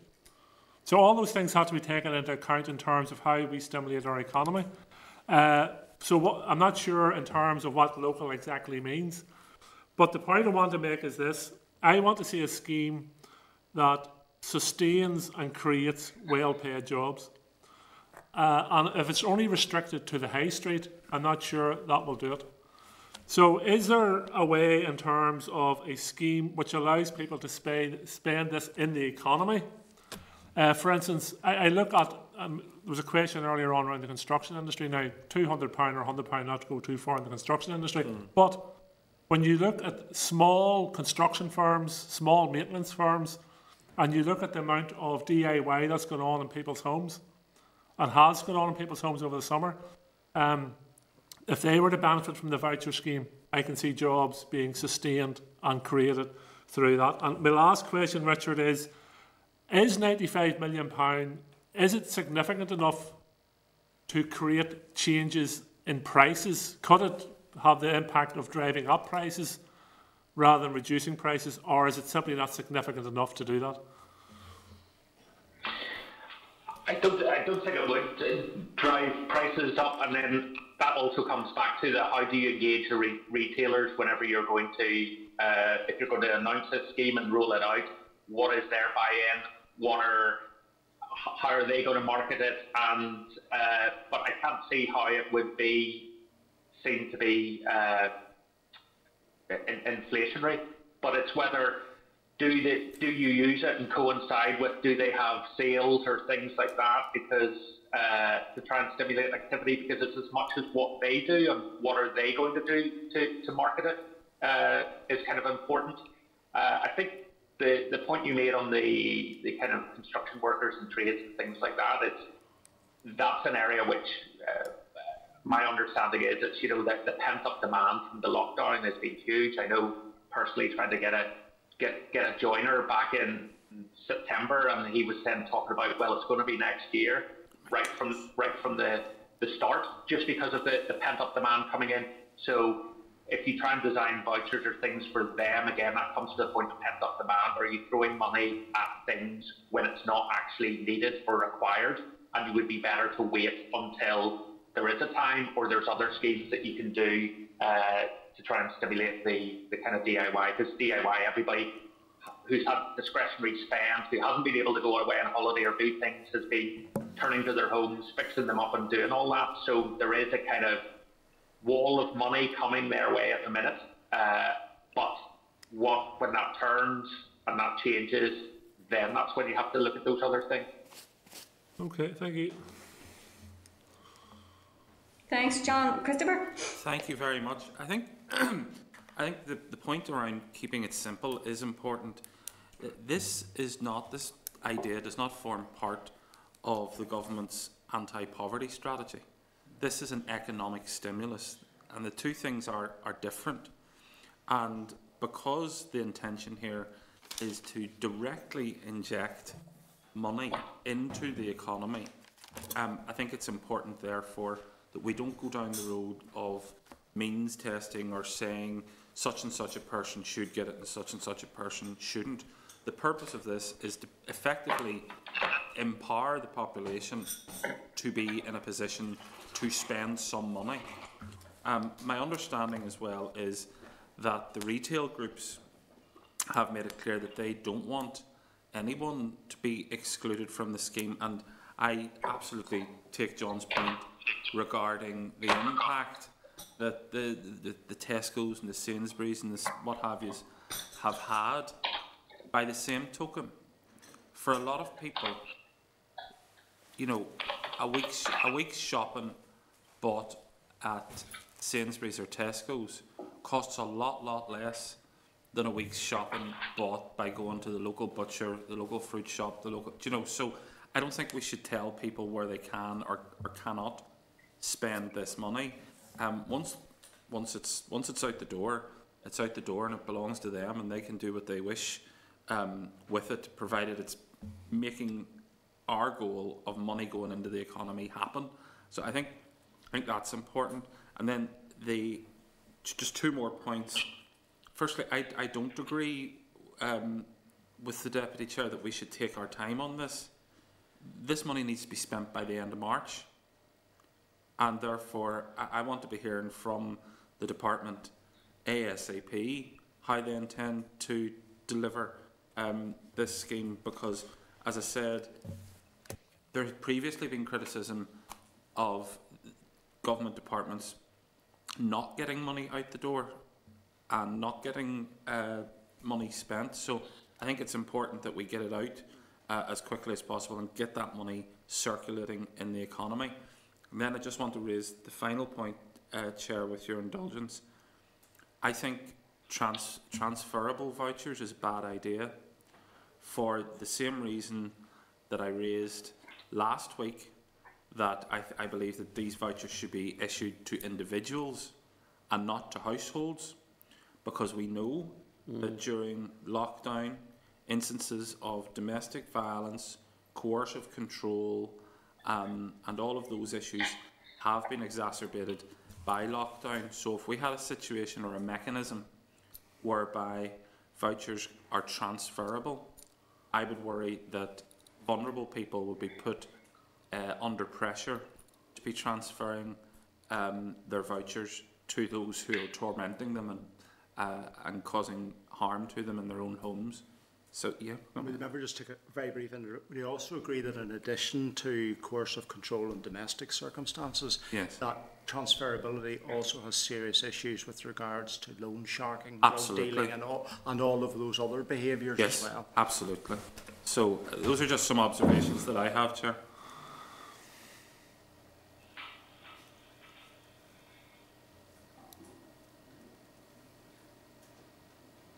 Something's happened. Chair, can you still hear us? Yeah, I can still hear yes, you. I'm, I'm You're done. coming in. I'm done.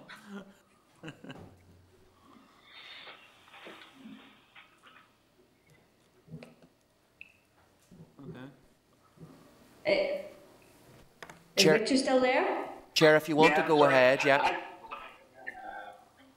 I suppose, ju- I suppose just coming back, it, it, it comes back to then what is your policy designed to do, and if it's it's then you know if it's for everybody and all sort of retailers, it's not a high street voucher scheme. You know, it's kind of changed. It, it's something it's something different. The other thing is how is that viewed as being consistent with other policies that you've had on rates relief, where you view one cohort as being uh, able to avail of a relief and others not. So there, there's you know maybe sort of consistency issues there. And I think the key point about the the key rationale for targeting those most in need at the minute in terms of businesses is that they're the ones that haven't been allowed to be open, whereas lots of businesses, independent traders have been losing business to some of the other multiple retailers simply because of government regulations are saying you cannot open your shop now. So they're diverted elsewhere. So in many ways, a lot of this would be a means to kind of rebalance that, to actually give them an opportunity for people to be uh, uh, putting money their way.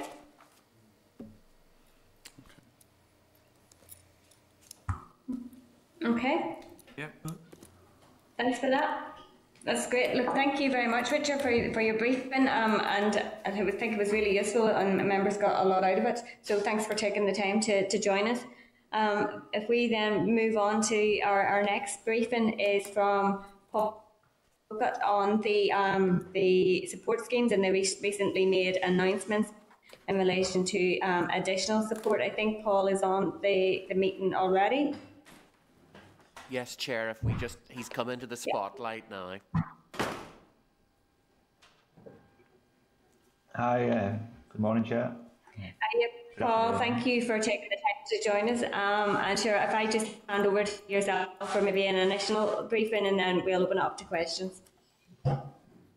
Yeah, thanks very much. Um, so I'm, I'm conscious of the time that um, uh, is against us. Um, so uh, very, very brief. Um, so uh, allocate. So the department has been allocated a significant amount of money to support the economy. So October monitoring we were um, allocated 60 million, and then most recently um, a sum of 137.7 million, so close to 200 million in total.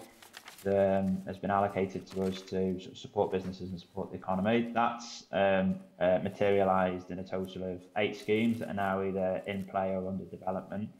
Um, so I'll, I'll quickly run through them, and then given the conversation or the, the evidence from Richard and then the, the detail, it'd be useful, particularly for me and probably for you, to focus on the high street scheme. So we've got the COVID restrictions business support scheme, parts A and B, that's live. Um, and then schemes which are in development and hoping to be launched incredibly soon are the a scheme for the newly self-employed, a scheme for limited company directors, uh, uh, pubs or licensed premises, um, B&Bs, uh, another round of the digital selling uh, capacity grants, um, uh, the Minister recommended manufacturing rate relief, albeit that's obviously for uh, Department of Finance, not, not delivered by, by us. And then finally, the eighth one is um, the High Street Stimulus Scheme. So I, I was going to spend just a couple of minutes on that, mainly just really to um, explain where we are, uh, pick up a couple of the questions, and then uh, open up to see um, uh, uh, questions from, from yourself and the chair. So um, hopefully not to repeat too much of what we said, which was incredibly useful, by the way, uh, um, uh, uh, both Richard's evidence and also the conversation and debate um, uh, after that. So I think from our perspective, this is a really innovative intervention. I think while uh, Jersey has definitely um, sort of led the way, doing something like this on the scale of um, you know the, the, number of consumers that we have in Northern Ireland is is is, is genuinely new uh, and innovative. When the ministers met with the business reps, we've got really positive responses uh, on this. So we are looking to inject some 95 million into the local economy. You know, in simple terms, this is about giving the high street a shot in the arm, building confidence and kickstarting the economic recovery when the time's right. Focus is on bricks and mortar, um, so that's those that have been heavily impacted by the restrictions. So excluding uh, online retailers, we are we are moving incredibly quickly. Um, in order to deliver this. Um, uh, a certain set of decisions have to be made now, but then uh, um, we do have more time to consider um, other areas, particularly in relation to targeting. So key decisions that we need to make now are uh, uh, securing a, uh, a provider in order to deliver the scheme. Uh, the reason why that's imperative is because of the lead-in times to procure cards. So that's the, the most important issue that we're, we're facing at the minute. Um, other decisions that are ahead of us, but you know, uh, need to be carefully con considered um, about the so like the so the purpose. So the, the reason why we're doing this is to stimulate activity. I think there was a discussion whether about give grants to businesses uh, or whether you use like a, the prepaid card to stimulate activity. The benefit of the card is that it delivers the multiplier effect. I think Mr. Middleton mentioned that you, you wouldn't get that same uh, effect from uh, a, a grants. Uh, decisions on targeting, again, not to be made uh, today or, or even this week. Um, there's a careful balance that needs to be made between uh, the delivery time scales, uh, so the imperative to deliver not just simply because of financial pressures in order to, to um, because of the quirks of government accounting, but also there's a gen our expectation is there will be a genuine need in the um, uh, sort of new year, early spring for the high street to um, receive the support. So there's um, the delivery timescale pressures come from the need to get something out uh, into the economy as quickly as possible. Um, and, and, and also I think we have to be careful about drawing hard lines between um, sort of like the purpose of the scheme. Um, you know, absolutely the focus needs to be on stimulating demand in the high street. Uh, I noticed from some of the conversations about whether it's uh, highly targeted and therefore delivers, you know, a, quite a purist um, scheme from an economist perspective. Um, there's a policy decision at the heart of that, and ministers will need to be comfortable that if if, if, if you went that highly targeted um, route, um, we need to be comfortable that people that perhaps um, you know uh, spending using this using the card to uh, help buy their groceries wouldn't be able to do that. And I, I think that's you know, that's a difficult question that we'll need to put to ministers. Um, you know, uh, I think earlier conversations were um, mentioned that the um, retail stakeholders, so the uh, Retail Consortium and uh, Retail NI, uh, have, have advised against um, targeting in that way for, for, for, for those reasons. I think um, finance was mentioned as a particular issue, so we're aware of that as a, as a concern and we're in, um, engaging with colleagues in the Department of Finance.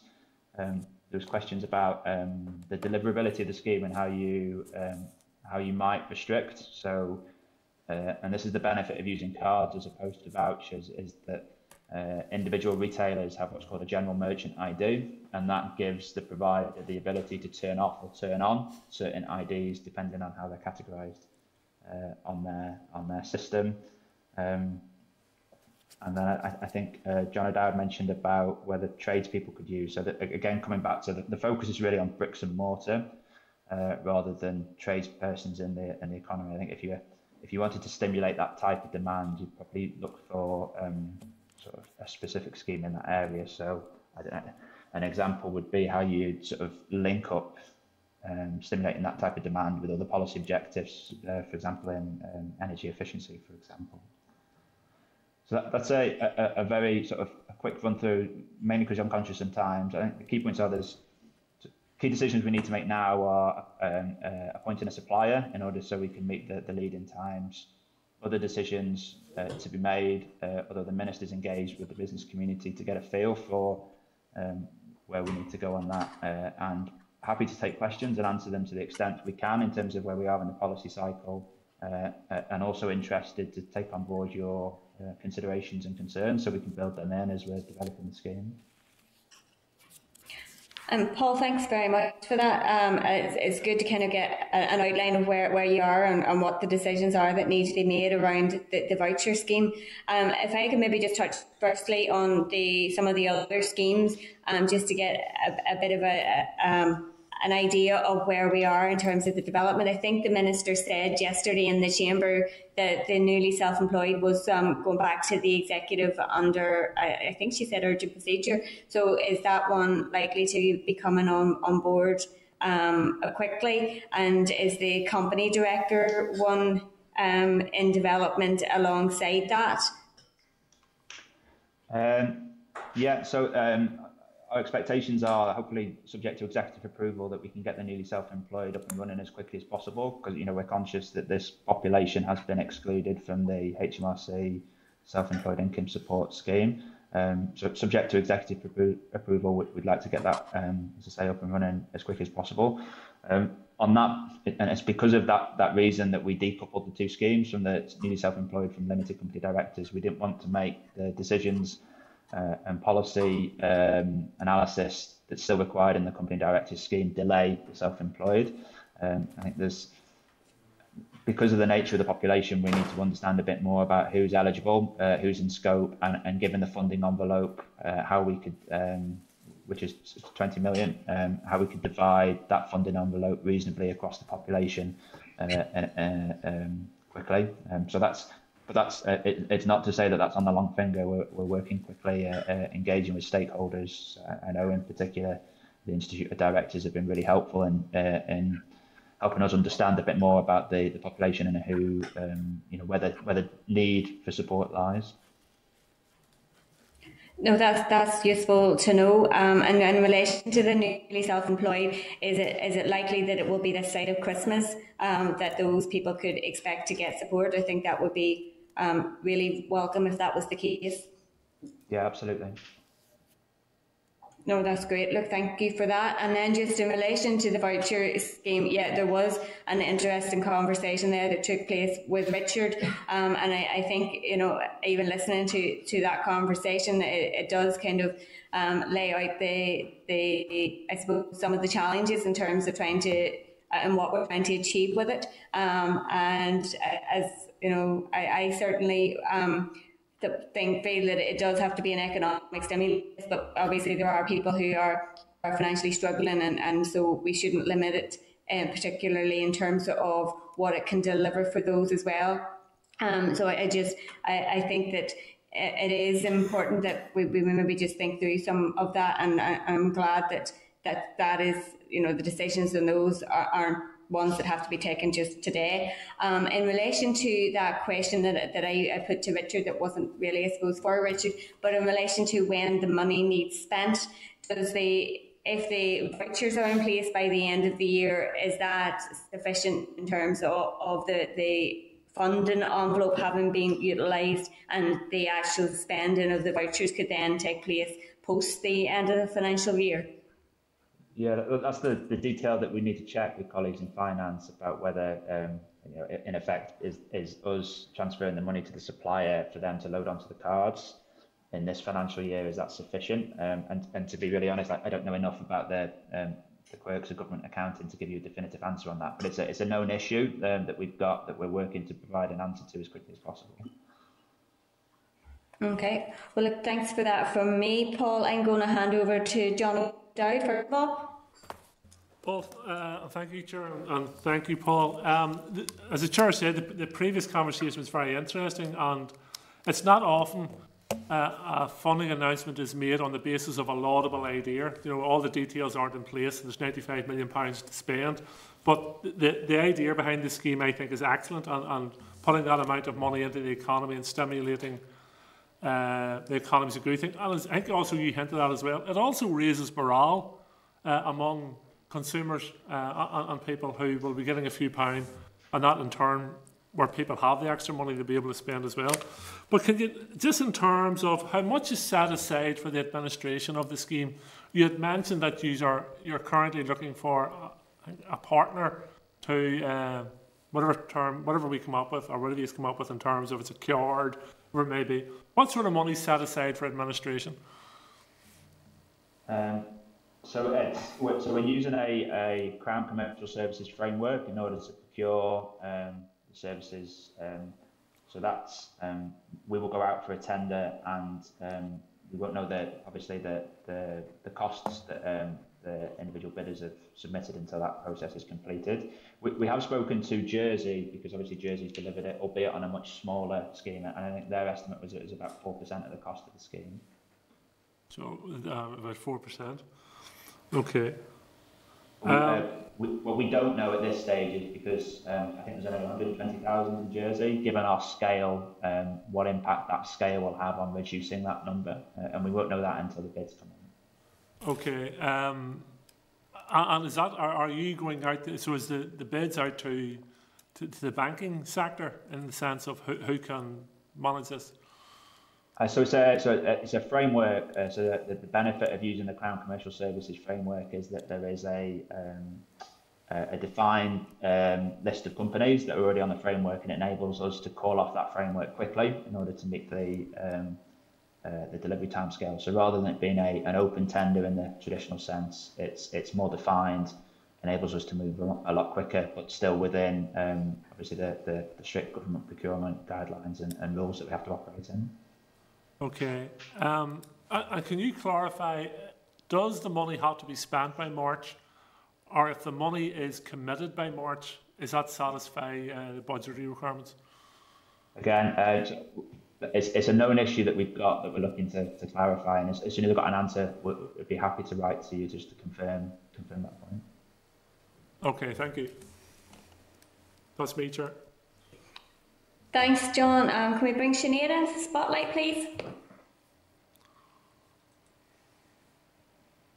Hi, thank you very much, Paul, and um, congratulations in, in, moving departments or moving your job now into recovery uh, for COVID.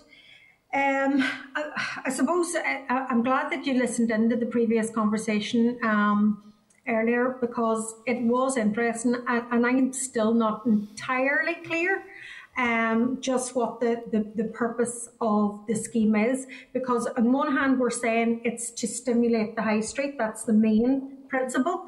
Um, uh, and uh, that's very welcome. But on the other hand, uh, you know, we have some members saying, well, you know, we need to we, we need to be able to spend it everywhere, like the multinationals. We have to remember that the multinationals have been, you know, I'm, I'm talking supermarkets, have been working throughout this entire COVID pandemic and have been doing very, very well. So therefore, if we're going to stimulate the high street, then we need to stimulate those businesses that weren't doing well, that had to close down and didn't, uh, you know, that have been really heavily impacted, small family owned businesses. So therefore, we need to target them. It's just not, we can't just create a scheme that one size fits all because it doesn't. And it's not going to stimulate and it's not going to save the high street if everybody that gets a voucher goes to Tesco's or goes to Asda or goes to Sainsbury's, that's not going to save the high street. And whilst I, I understand what John said about, you know, uh, the recent job losses in Arcadia and um, and, and Debenhams, let's be honest, they these job losses didn't come about because of COVID. These are long-standing issues on those companies um, and, and their business model. So they're, these are not uh, COVID uh, job losses. These are, uh, you know, a, a, transition and a different retail model. So if we want to save our independence, we want to save the actual,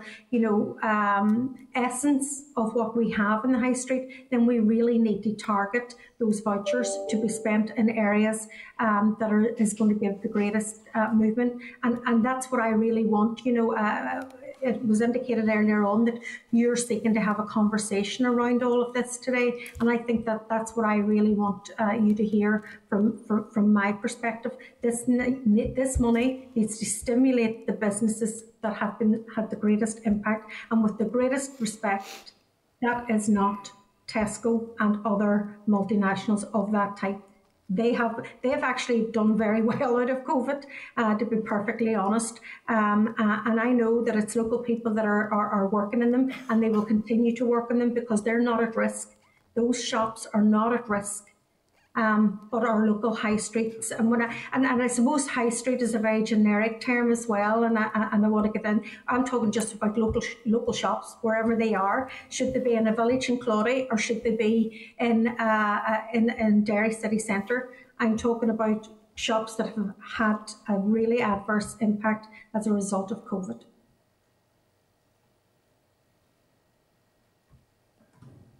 Uh, yeah, th thanks. I, so I think we're on the same page, I think, in the, in the department. I think in terms of what the what the what's the policy intent of this? Absolutely. So we're seeing real pain in the in the high street, um, and we recognise that this is an opportunity to kickstart the recovery and really support those businesses. So the question then becomes, how do we target that support? Um, so you know, we've heard from uh, Aodhán Connolly and Simon Hamilton in the in the chamber is that exclusions would be harmful. Uh, but that doesn't mean that we can't target in different ways. And I think what, what will be absolutely significant and uh, a game changer around this, and, and this is a lesson from Jersey, uh, is that what's the communications package and communications campaign that surrounds this? So the Jersey card had spend local on it. There was a, a, a huge effort um, in order to encourage the types of spend that exactly you're talking about. You know, it's, it's the businesses that have been suffering that need the support. I think what was also interesting from the Jersey example is that how businesses themselves responded to it. So, uh, you know, independent retailers were offering additional discounts if you use the voucher or that use the card in their stores, and then that then further sort of, I guess, incentivize and tunnels people uh, uh, into using the, the card in the area that we want to get to. And I think just just coming back to the, policy decision that you know if we, we have to be clear if we go down the um, the hard line view and we draw a clear line between what the card can and cannot be used for there's consequences of that. And those consequences obviously will uh, impact upon the you know the big retailers that yeah absolutely have done well but it will also impact on the people that perhaps would have used that card um, to buy their groceries. Uh, and and on balance if there's a small number of people that you know do use the card in uh, any number of the retailers but the vast majority go on to spend it in the high street, then I think overall the policy will have been a success. And, and then just one quick other question: wet pubs, ten point six million additionality uh, money for for wet pubs. Can you give me any more insight into what that actually is for? Um, so it's the, uh, the, the, the I guess the main point behind it is that this is a group of people, a group of businesses in our economy that have had a really difficult time uh, since March, uh, and it's recognition um, of, of, the, you know, you know that hardship and you know an ongoing hardship. So where um, the minister asked us to look into options to um, develop a scheme to support those businesses. Um, now, there's quite a broad population that, um, that we're looking at, and uh, we need to provide the minister with uh, options of you know, how broad do we want to go, and therefore the implications of that and the individual spend uh, within that funding envelope, or whether it's more targeted. So, in the process of providing advice to the minister, we then present um, advice to the uh, executive on how that could be delivered quickly. Okay, thank you very much. Thanks, Sinead. Um, Gary, please.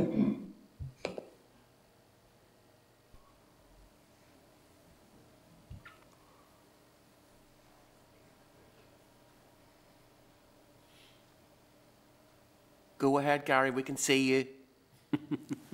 Apologies about that. Yes, uh, thanks, Chair, and thanks, Paul, um, for your presentation and, and congratulations on uh, your post that you're now in and wish you well. Uh, obviously, uh, a lot of this stuff has followed up from the previous conversation uh, that we just had with uh, with Richard. But look, I, I just want to put, point it out again that you know this week has been one of the darkest weeks for our high streets. I speak, I speak for, for Londonderry City Centre when we look at the potential of thousands of jobs at risk. So I do take issue when people you know, throw out terms like, you know, let's take our time, let's you know, let's let's exclude exclude people. I think our focus at this minute in time is about getting this scheme, and I think the vast uh, majority of members understand that this is about stimulating the local economy.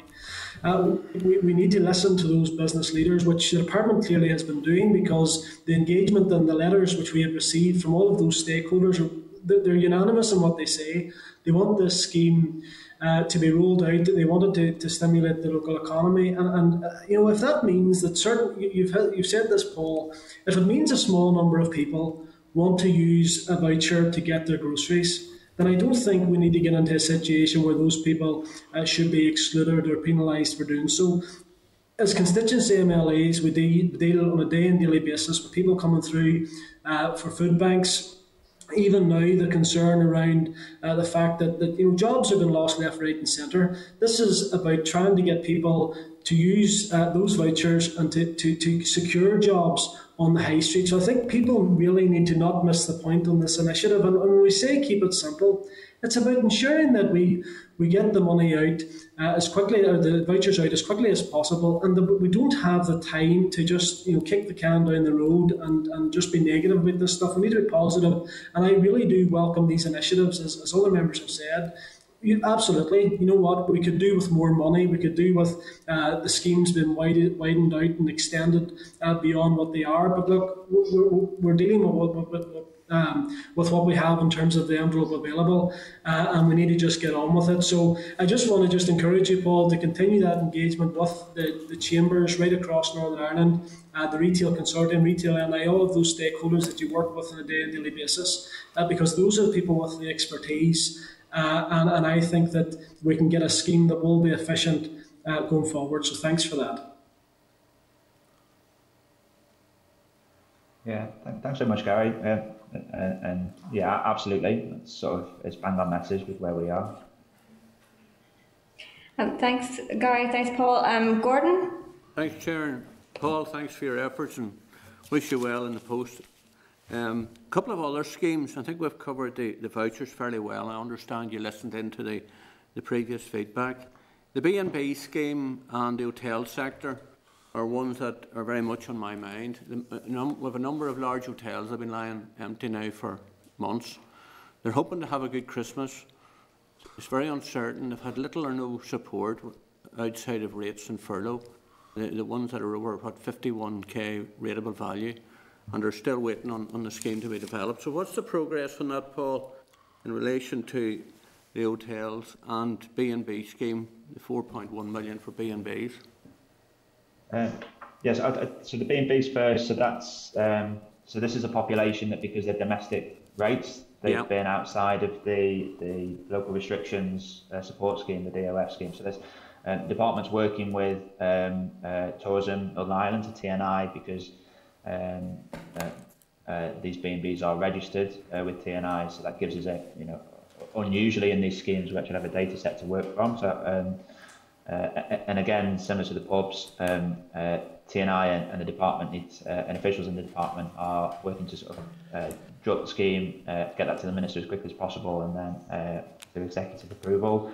Uh, moving to large hotels, um, again, the policy intent is that particularly, so this is the over 51 and NAV rating, is that while the LRSS is providing welcome support, the fixed costs that these businesses are incurring are significant, and then that's the policy rationale for um, a, a top-up payment, if you like. And again, in the same boat, uh, just with the volume, you know, eight schemes is, is, a, is a huge amount of work.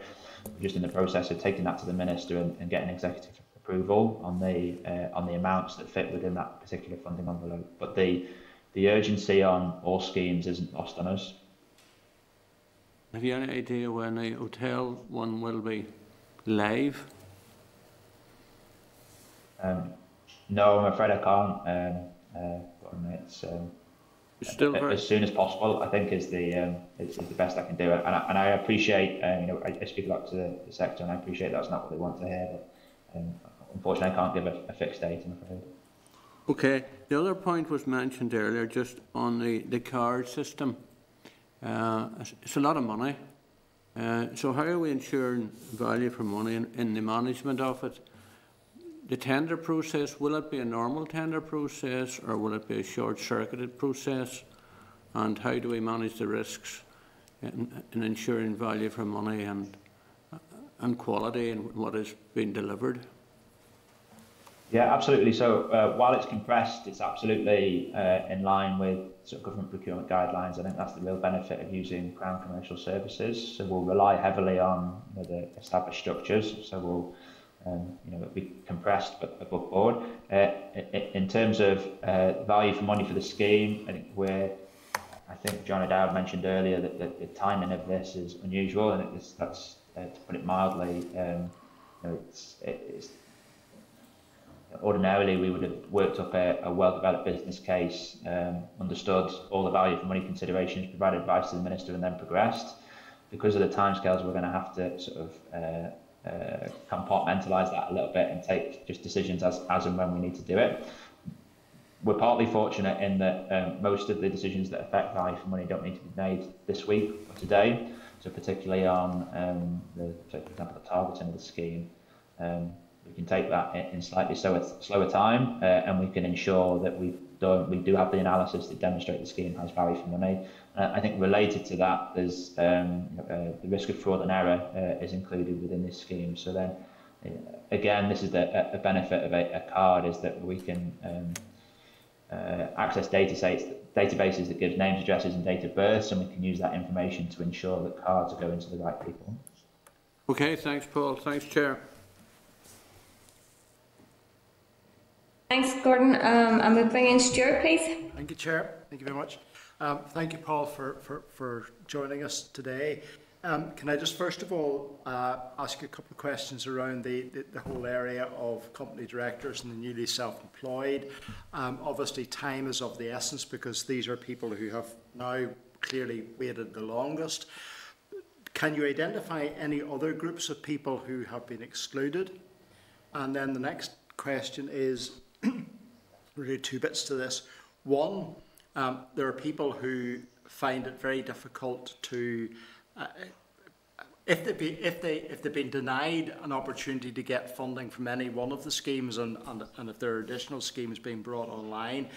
Um, we need to give you need to give serious consideration to a, a quick appeals process for people, um, and and uh, in addition to that, um, it, it, many uh, businesses and people will come to elected representatives, whether it's MLAs or local councillors, um, or indeed even local councils.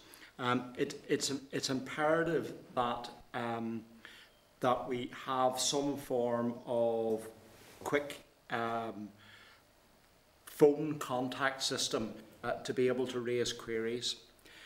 Um, that, that's, that's the area around um, the, the, the various schemes that are ongoing and those which are about to be delivered. Um, going on then to the whole issue of the, the potential for a card scheme, and you've heard the whole conversation so far today, I understand. But, it, but this does take us back to the very fundamental. What, what is the purpose of the scheme? And will you be in a position to very clearly and very succinctly set, up, once the scheme is launched or about to be launched, uh, will you be able to, to, to be very clear in, in setting out the purpose of the scheme? Um, I think most people, many people seem to feel um, that there's a conflict between it's, a, it's an economic stimulus or it is there to help people who've been uh, suffering as a result of the pandemic. Um, and you hear people wanting to do altruistic things with their cards, like transfer them to charities or uh, give them to other good causes. Um, but if the purpose is none of those things and the purpose is just simply uh, to stimulate a sector of the economy, then uh, that needs to be stated very clearly and upfront. And for example, will it be printed as a message on any on any card? Um, we're not giving you this because we want you to, to personally benefit from it, although people will, but we're giving it to you uh, to stimulate the high street economy.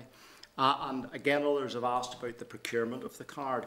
Uh, I, I would have some concerns um, that we are giving that, that money will inevitably end up in uh, the, the, the retail banking sector uh, to deliver this, but there are other there are other organisations that are capable of doing that delivery. Uh, people, organisations like Royal Mail, who've been treated disgracefully um, by the public sector over the last number of years. Um, uh, and one other final quick question in relation to all of this. Uh, whatever way in which this is rolled out, uh, not only are you telling us that there's a cost to provide the card and an income for the card provider, but card providers also uh, take commission from card machines and shops. How will that be controlled? Because basically you're paying at both ends.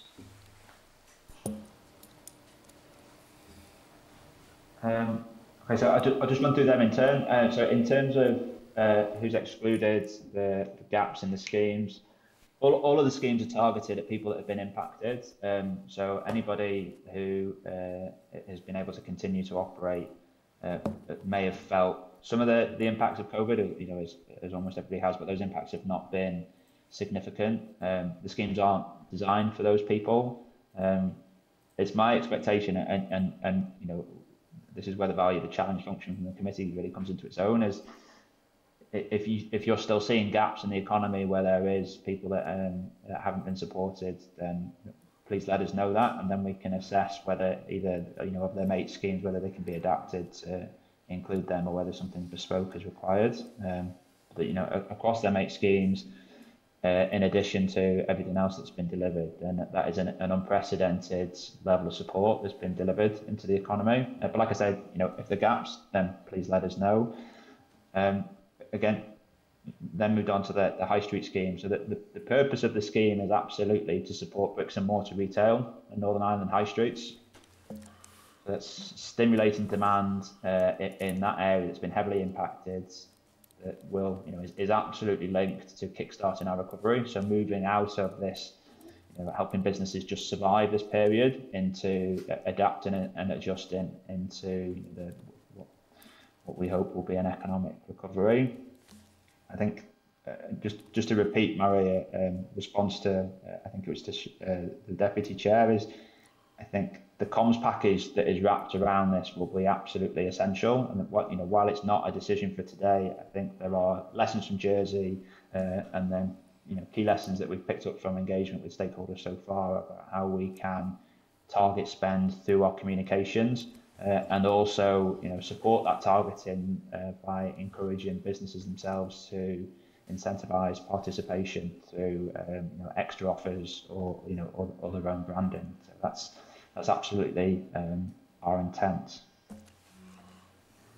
And then, sorry, what, was your final question? Sorry, Stuart, I've, I've just yeah, temporarily. The, the, final area was not only uh, have you yeah. have you indicated that we're going to have to pay to buy the cards. There'll be a service charge yeah. for that, but of course, uh, traditionally, unless you make it a, a condition, uh, there's also a charge to the retailer as well for the use of his card machine because they, they have to pay for that as well.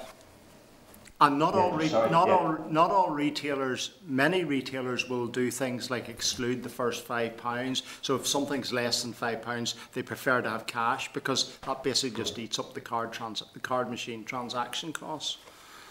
Yeah, yeah, absolutely. Um, happy to look into it into more detail and come back to you if that's. Um, um, my understanding, at least, is that that transaction cost is included in the price of the goods that retailers sell. It's almost assumed that um, that, that, that's covered. But well, I'll look into that and take advice. And um, if you're content, just to come back to you with a better answer on that, Stuart, if that's okay. Thank you. We'll take a note of that. Yep. Uh, and I think Thanks you mentioned that. the post office, Stuart, as well. So that they're included on the Crown Commercial Framework that we're, we're using. Okay, thank you. Um, I think John O'Dowd wants to come in for a final question. Uh, just a quick point, Chair, and thank you for letting me back in again. Paul, you have referenced the fact that you're in in discussions with uh, Chamber of Commerce retail representatives, and quite rightly so. Uh, but one of the, the, the added benefits of this scheme is that those families who have either and workers who have been furloughed or lost their jobs and have lost income will also be using this, these cards as a welcome relief uh, to their income.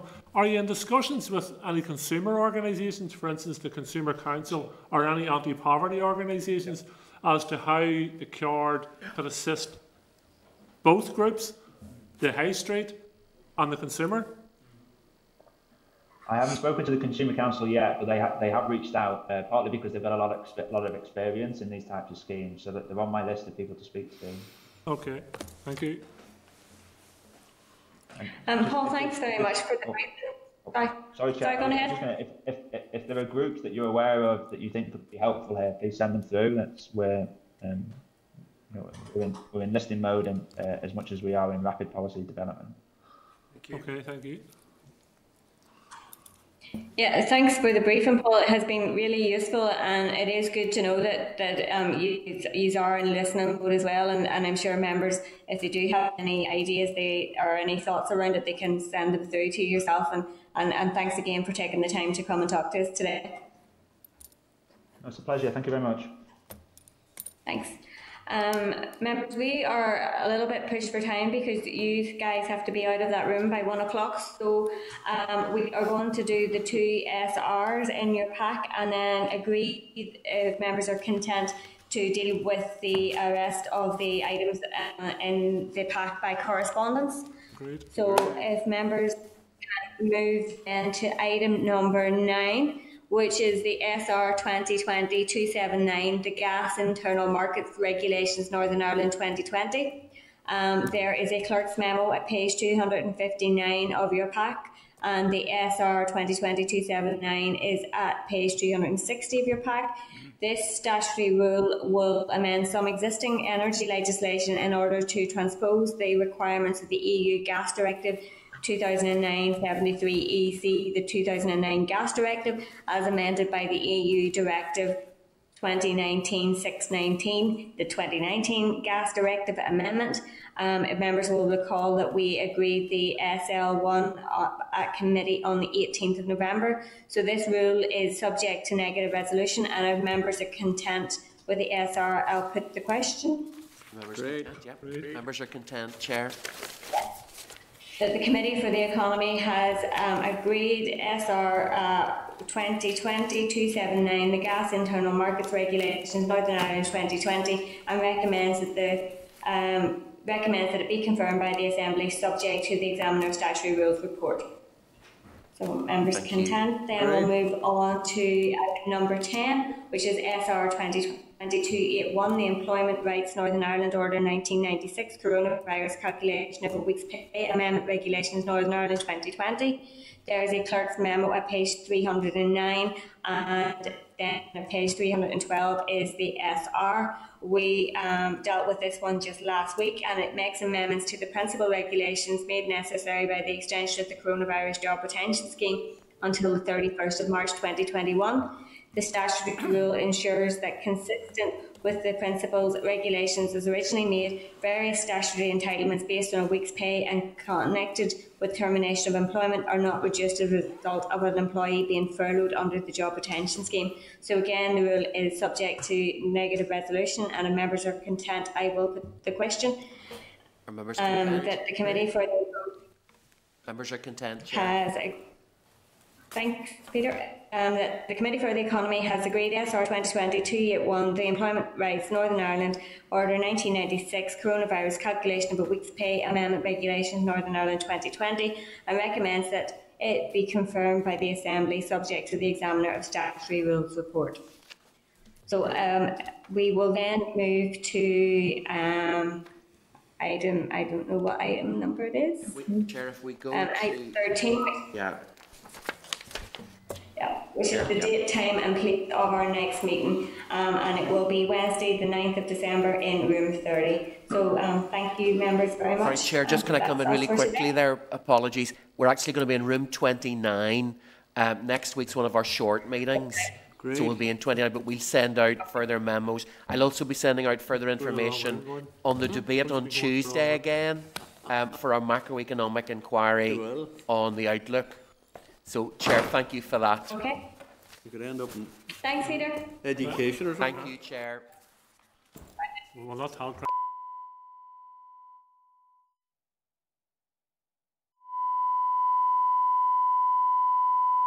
This is the Northern Ireland Assembly Committee Room 30.